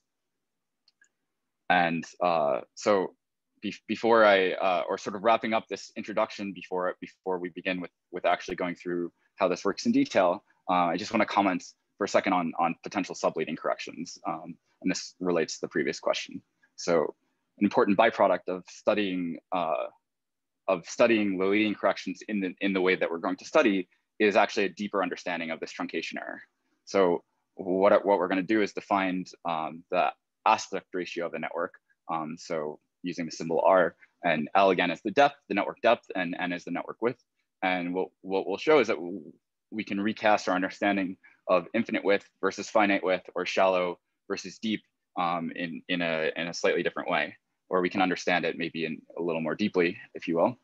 So in the, in the strict R going to zero limit, the interactions between the neurons turn off. And this is the infinite width limit. Um, and um, you can imagine on your computer practically training at some network where R is for all practical purposes near zero. So maybe you're, you have a two layer network and you have 10,000 neurons per layer, you know, you'll, you'll have, uh, you know, that, that, that type of network, for that type of network, the infinite width limit may be actually a decent description. But in practice, uh, these networks are not really deep. Um, they're, you know, as effectively their relative depth is going to be zero because R going to zero means L over N is going to zero. So, so one, one thing we're going to find out through this analysis um, is that uh, deep, deep networks uh, are not described by this infinite li width limit. So if, if the important property that you're trying to describe is, is, is a consequence of the depth of the network, it's not really gonna be captured by this limit. Um, then in for non-zero R, but still small, there are non-trivial interactions between the neurons, as, as I alluded to. Uh, and the, the finite width um, effective description truncated to this order is going to give an accurate accounting of, of the fully trained network function. And we could say that these networks are effectively deep. So they, they are not, um, you know, the, the R is, R is non-zero, so, so there's some consequence of depth, um, but our theory is able to describe um, is able to capture the effect of, of, of these non-trivial interactions and, and the non-trivial depth. So then you could ask, well, what about, um, what about much deeper networks? Um, so for some a regime where, where the aspect ratio is larger, um, first of all, theoretically, the neurons are going to be strongly, strongly coupled. Um, and um, the, the, the description is going to require the additional terms that we truncated. Um, in practice, these networks are going to behave chaotically and, and there's not really going to be a good effective description. Um, there's going to be large fluctuations between different realizations of the network parameters from instantiation to instantiation. And these networks are not really trainable. Um, and so we'll call these networks overly deep. And, and really what this analysis will show is that networks of practical use are going to have small aspect ratios, um, are near some optimal uh, aspect ratio R star that's that's small but non-zero. And um, depending on how quickly we go through these lectures, we may talk about there are ways of, of um, approximately calculating this, this, this scale, this R star that tells you sort of, you know, as for different activation functions, how, how deep uh, networks should be such that they're in this effectively deep range uh, regime. Um, and so, um, so not only are we going to understand the, the corrections to the infinite width limit, we're also going to understand the regime, in some sense, the regime of validity of, of, of this description and understand why um, the, the corrections in some sense are not going to be uh, important because they would only really be needed um, for networks that are not of practical use. And so to conclude um, your initialization, uh, the, the, the point that I want to emphasize is to really describe the properties of multi-layer neural networks. Um, in other words, to understand deep learning, really deep learning, we need to study large but finite width networks. And I think, yeah, so that um, is the end of the first part of this. Um, maybe uh, I, if there's additional questions, I can take a few questions um, before moving on to the to the to the next part. Great. So um, sorry, I, I just wanted to ask all of the these chapters, they're from the the, the pre-reading, like the they're corresponding to the pre-reading chapters. Um sorry, which which things? Um the like it, you have like 0, 7.1, 10.4. These are all oh, from like the book, the principles of Sorry, I I was about to explain that. Um great question. Yeah, so so this is our this is our course plan um, the the chapters and sections are are from are from the book, The Principles of Deep Learning Theory. Um, the arXiv link was at the beginning of the slide, I believe, um, or we'll post these slides so you don't have to worry about um, writing writing these sections down. But um, roughly speaking, the lectures will correspond to the sections uh, listed here, um, and uh, and the lectures will co will cover these will cover these topics. Um, and uh, I think I answered your question. It looks like there's another hand maybe. So another question. Um, hi. So I'm wondering if there is also the possibility to study uh, another structural parameter of neural networks, that is the degree of each of the neurons. So from fully connected to something just like a convolutional network. Yes, uh, you're asking whether this formalism just applies to MLPs or whether it applies to other structures as well. I think so. Right. If I were to vary the connectivity patterns. Yeah. Yeah, that's that's right. So so yeah, in general, the the the framework that we're going to describe um, can be extended, um, and um, when when we, I I believe that when we discuss um, where the input of MLP goes in, we can we can point out how you could use that to study other networks. Um, our, our reason for studying MLPs is is uh, more as a pedagogical tool and uh, as a way of taking uh, a model that's that's rich enough to capture what makes deep learning exciting. Um, for instance, understanding representation learning um, and understanding the the importance. I should say, understanding the importance of depth and how the role depth plays in in um, in these models, um, but still be simple enough to be pedagogical. But but this is kind of a general framework and can be extended to to other models. Um, is there one other question? I'll take one other question before moving on. Uh, yeah, is there any uh, experimental understanding on how big n should be so that like leading one over n correction would become prominent? Right. So I, I sort of addressed this and we'll, we'll cover it in more detail, but but the the well, so a further theoretical understanding is that it's not just one over n, it's L over n. And we can actually compute um, explicitly what um, either the variance of different observables like the network output, um, like fluctuations between um, instantiation to instantiation of models, like like those things can be computed and, and then verified experimentally. And sort of the, the, the relevant scale to keep in mind is L over N. And it will, you know, all the corrections will always be L over N times some order one number. Um, so yeah, so let me, let me move on and I can take questions, additional questions at the end.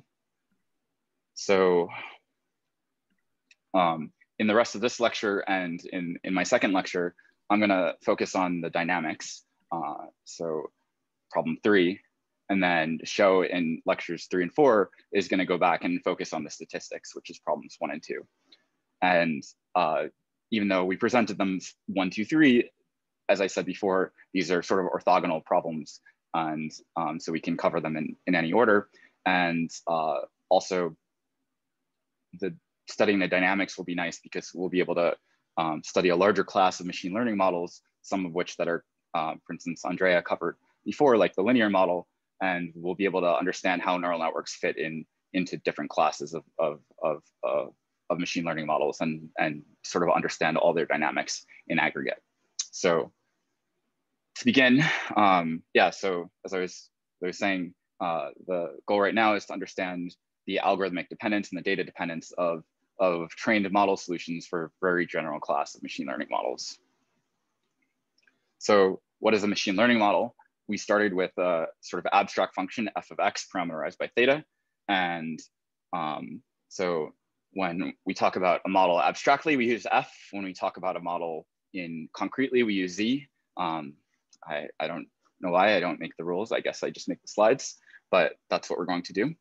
And in to highlight this contrast between abstract and concrete, I'm now going to decorate um, the particular function with a vectorial index. So this index i um, allows my model to output not just uh, one, one number, but a vector of numbers. So there's n out different, different outputs.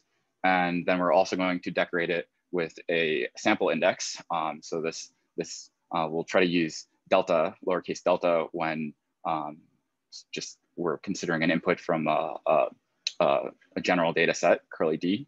Um, so we'll call that a sample index. And furthermore, we're going to use a compressed notation um, because slides are difficult to make where rather than writing X each time, I'm going to use a semicolon and then write this sort of index um, after the semicolon um, as, a, as an index to the function rather than writing X, X of delta. Um, but this is supposed to um, um, tell you which particular sample I'm considering within the data set. So now that um, I've explained some notation, um, what, how do we, how should we begin talking about machine learning models? Um, again, um, in some sense, as, as we were saying to, well, uh, let me walk that sentence back. So one way to characterize a function, of course, is by its Taylor expansion. So one thing we can do is we have some function, um, some model z parameterized by theta, and I'm just going to Taylor expand it around a point. I picked the point of theta equals zero. So I'm gonna take this function and I'm gonna set, um, expand it around um, the place where the model parameters are set to zero. And so again, we have potentially an infinite number of terms, very, which describes a very general, completely arbitrary machine learning model. And here, so again, compared to when we were very schematic before, now we're gonna be less schematic. So mu i is a parameter index and there's going to be capital P total model parameters. It's just notation.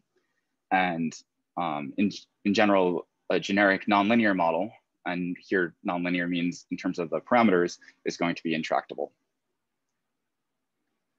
If we truncate this to uh, what I'll call a cubic model, um, as, as uh, Sho will, will, will explain in detail, um, this actually is sufficient to describe an MLP at order one over n. Um, I guess I already talked about how we just need to keep track of the three terms, uh, the, the function and, and, the three derivatives. And so um, understanding, if we understand the dynamics of a very general cubic model, that those dynamics would apply to MLPs. Um, and for pedagogical purposes, it's even sufficient to truncate further to a quadratic model to illustrate nonlinear dynamics and understand um, representation learning and the dependence of, of the solution on the learning algorithm. And so in the next lecture, we're gonna study quadratic models. And for the rest of this lecture, hopefully time permitting, we're gonna study a linear model um, which uh, uh, describes, uh, which is sufficient for describing infinite width networks, as well as being um, kind of central model in statistics and machine learning. And Andrea has talked a bunch about linear models. We're gonna talk about it some way overlap, but in some ways a little bit different. So the simplest linear model uh, is just a one layer uh, or a zero hidden layer neural network. Um, and here, so we have an input X. Again, J is, is, is uh, an index over the components of the input. So for instance, if it's an image, those would be pixels and D says which particular input. Then I'm going to act on it with a matrix Wij, um, which um, the, the J component has N0 different components. Um, and remember the model uh, outputs I components. So the I, um, uh, so the W I should say is a, is a N out by N0 matrix. And then we shift it with a bias and, and so this, this model is very simple. And I assume, again, that everyone here is familiar with neural networks, so it should be clear why I'm calling this a one, a one layer or zero hidden layer neural network, but it's also called a simple linear model. And while one important point um, that hopefully uh, just I want to belabor so that it's not confused, while this model is linear both in parameters, um, so the weights and the biases. So again, I'll, I'll, continue to use theta to collectively refer to the parameters. Um, and so while it's linear both in the parameters and, and the input, the, excuse me, the linear in linear model takes its name from the dependence of the parameters theta and, and not on the, on the input x. Um, and uh, I guess should add, if, if, if we, uh, well, let me add it on the next slide. So um, one, one immediate thing to notice is that while um, the components of the input can serve as a reasonable set of, of features for function approximation. In, in general, they don't. Um, and one traditional way to fix this inherited from statistics is, is to engineer better features. Uh, and such an approach was necessary when computers were less powerful and models had to be much more simpler to optimize. Um, and uh, so just, just explain what I mean, for instance, rather than um, considering uh, using the components, the input to be the features like the XJs, um, perhaps it would also be useful for the model to take into account features um, like XJ times XK that let us consider the dependence of one component on another. Um, and, and more generally, um, we might design a fixed set of feature functions um, phi j um, that takes in an input and transforms it into some feature space that is designed to work well for the underlying task at hand. And sometimes this is called a generalized linear model. Um, I'll just call this a linear model. And um, so I should add, by the way, that that if if instead we have a nonlinear model in the parameters, but leave the linear, but it's still linear in the inputs, that would be a neural network with uh, linear activations. So there's two uses of the word linear here, and I just want to emphasize here what's linear is, is in the parameters, but this function can be nonlinear in the input, and that's an important thing to keep in mind. Um, and sort of as I was saying, in, in, in this type of machine learning model, all the complicated modeling work goes into the construction of these feature functions a priori. Um, so there's some tasks that you want to solve and you try to pick these phi j's such that they uh, have capture the important features of, of the data set. And then um, and then um, oh, sorry. Well I'll, I'll, finish that sentence in, in another slide. Here what, what I've done in going from um, this slide to this slide is subsume the bias vector into the weight matrix um, by by taking the first feature function and setting it equal to one, and then we were able to include this bias as part of as part of the weights. I imagine this is familiar for most people, but I guess if something's confusing, please please let me know.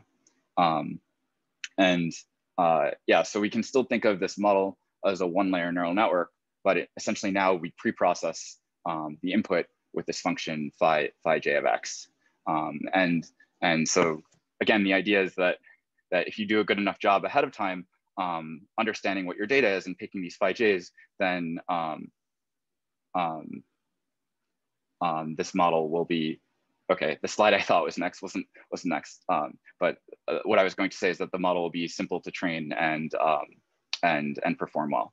Um, uh, let me see how much time. So uh, I'm gonna very quickly run through an introduction to supervised learning because I think everyone knows what that is. Um, and just in case there's some notational things that, that need to be kept straightforward.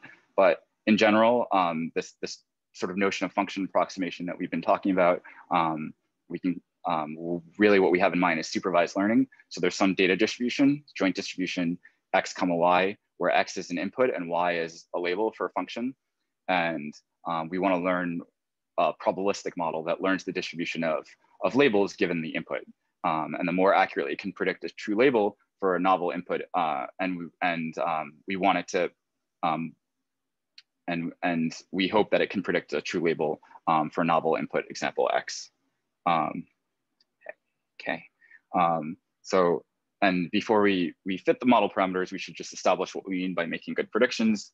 Um, so for for a typical pair of input labels sampled from the data distribution, we want the model to be as close to the label as possible on average.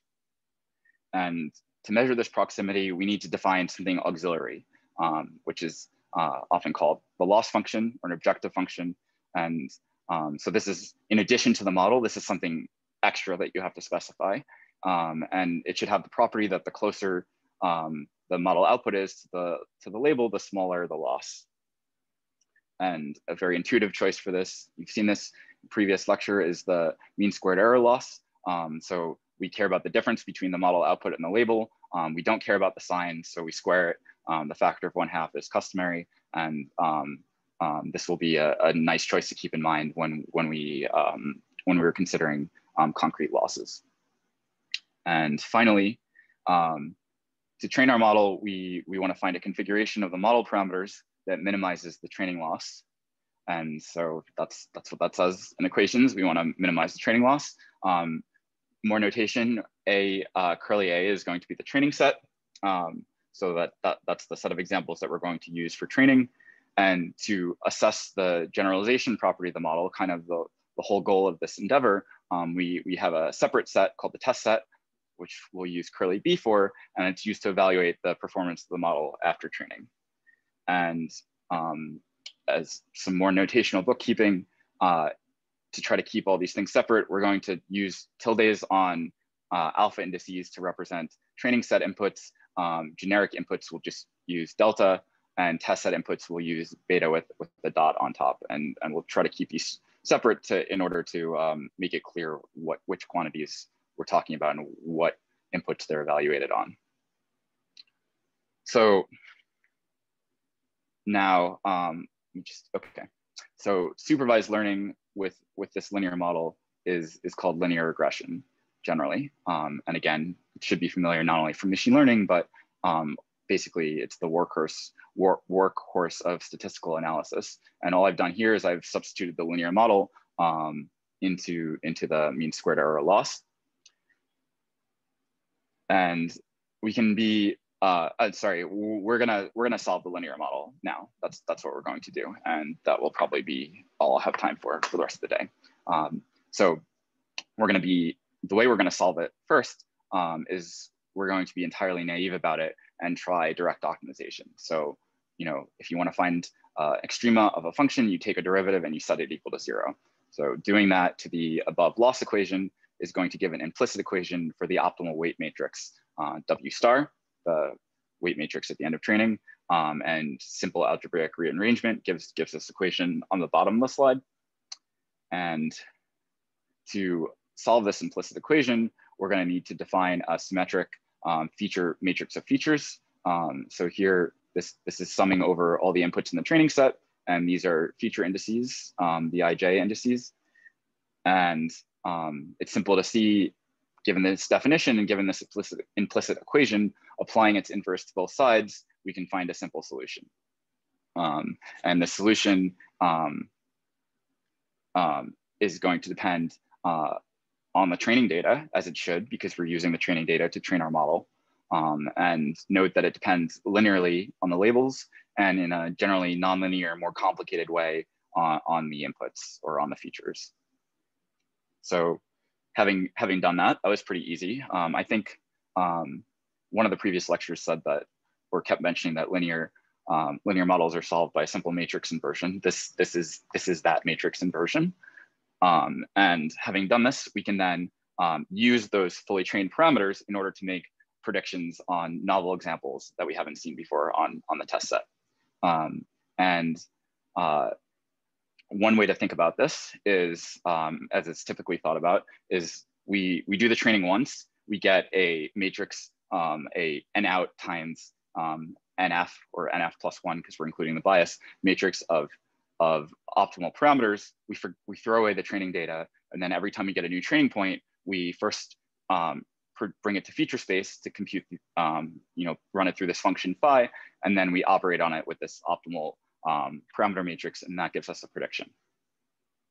Um, but since we are uh, wrote this, since we um, and that and that's in some sense akin to what we do in in in standard deep learning um, settings. We train our models, we find the optimal weights and biases, uh, and then we don't need the training data anymore, and we can make begin to make predictions on our on our on our test set.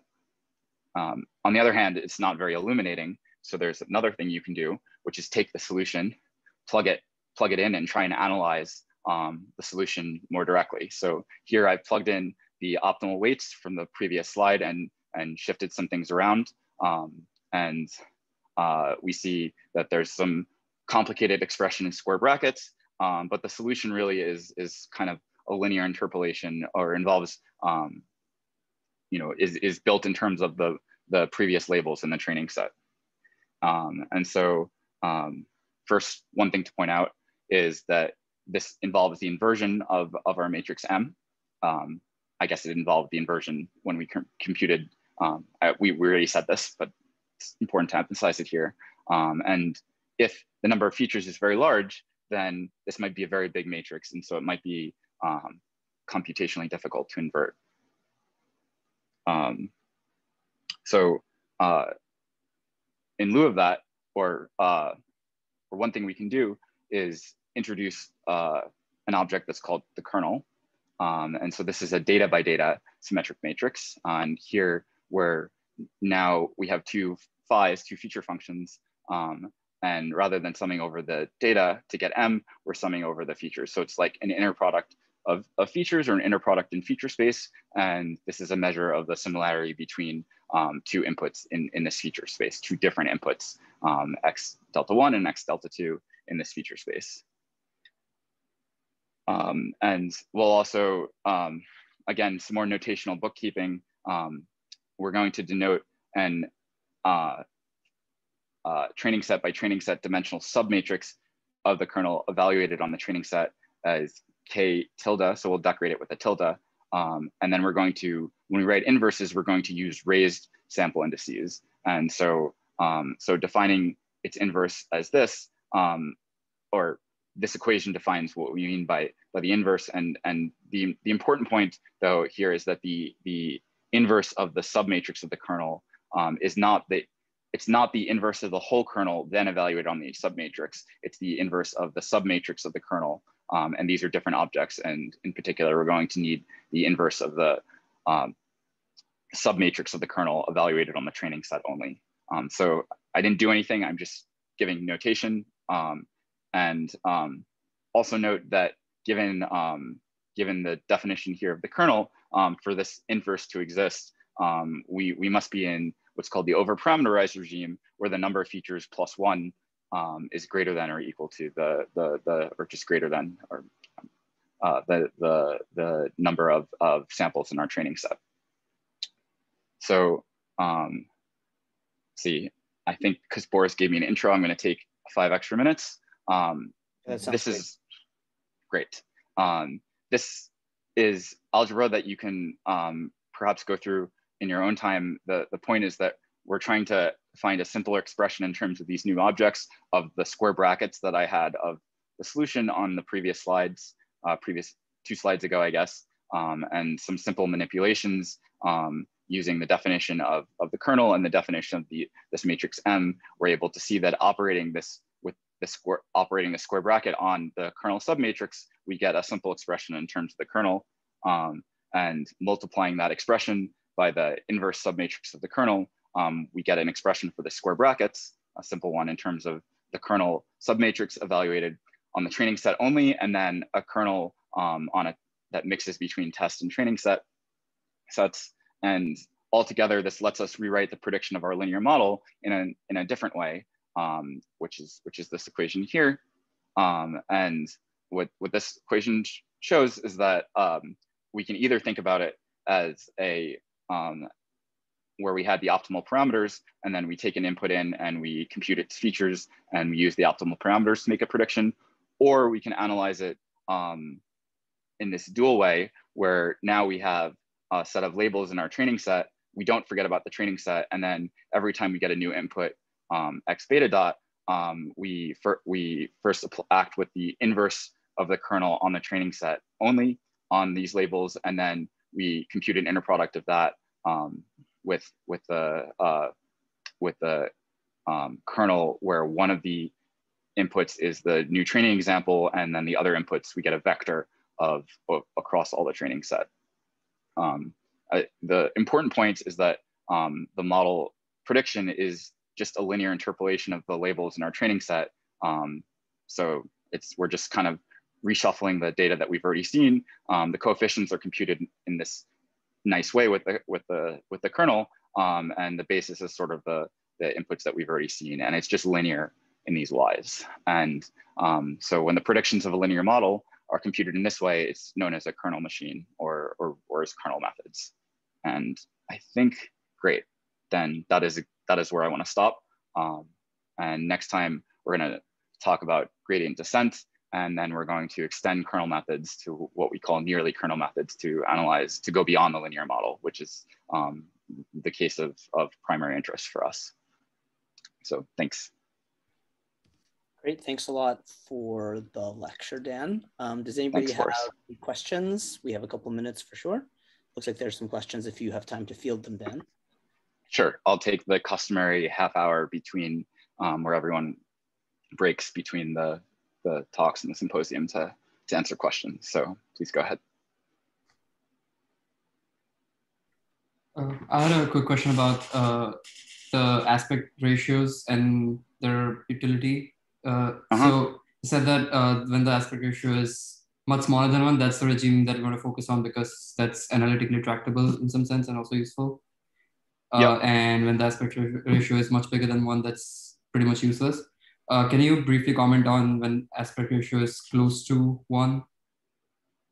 Well, I yeah. So really, it's not one. It's the other scale R star that that I alluded to.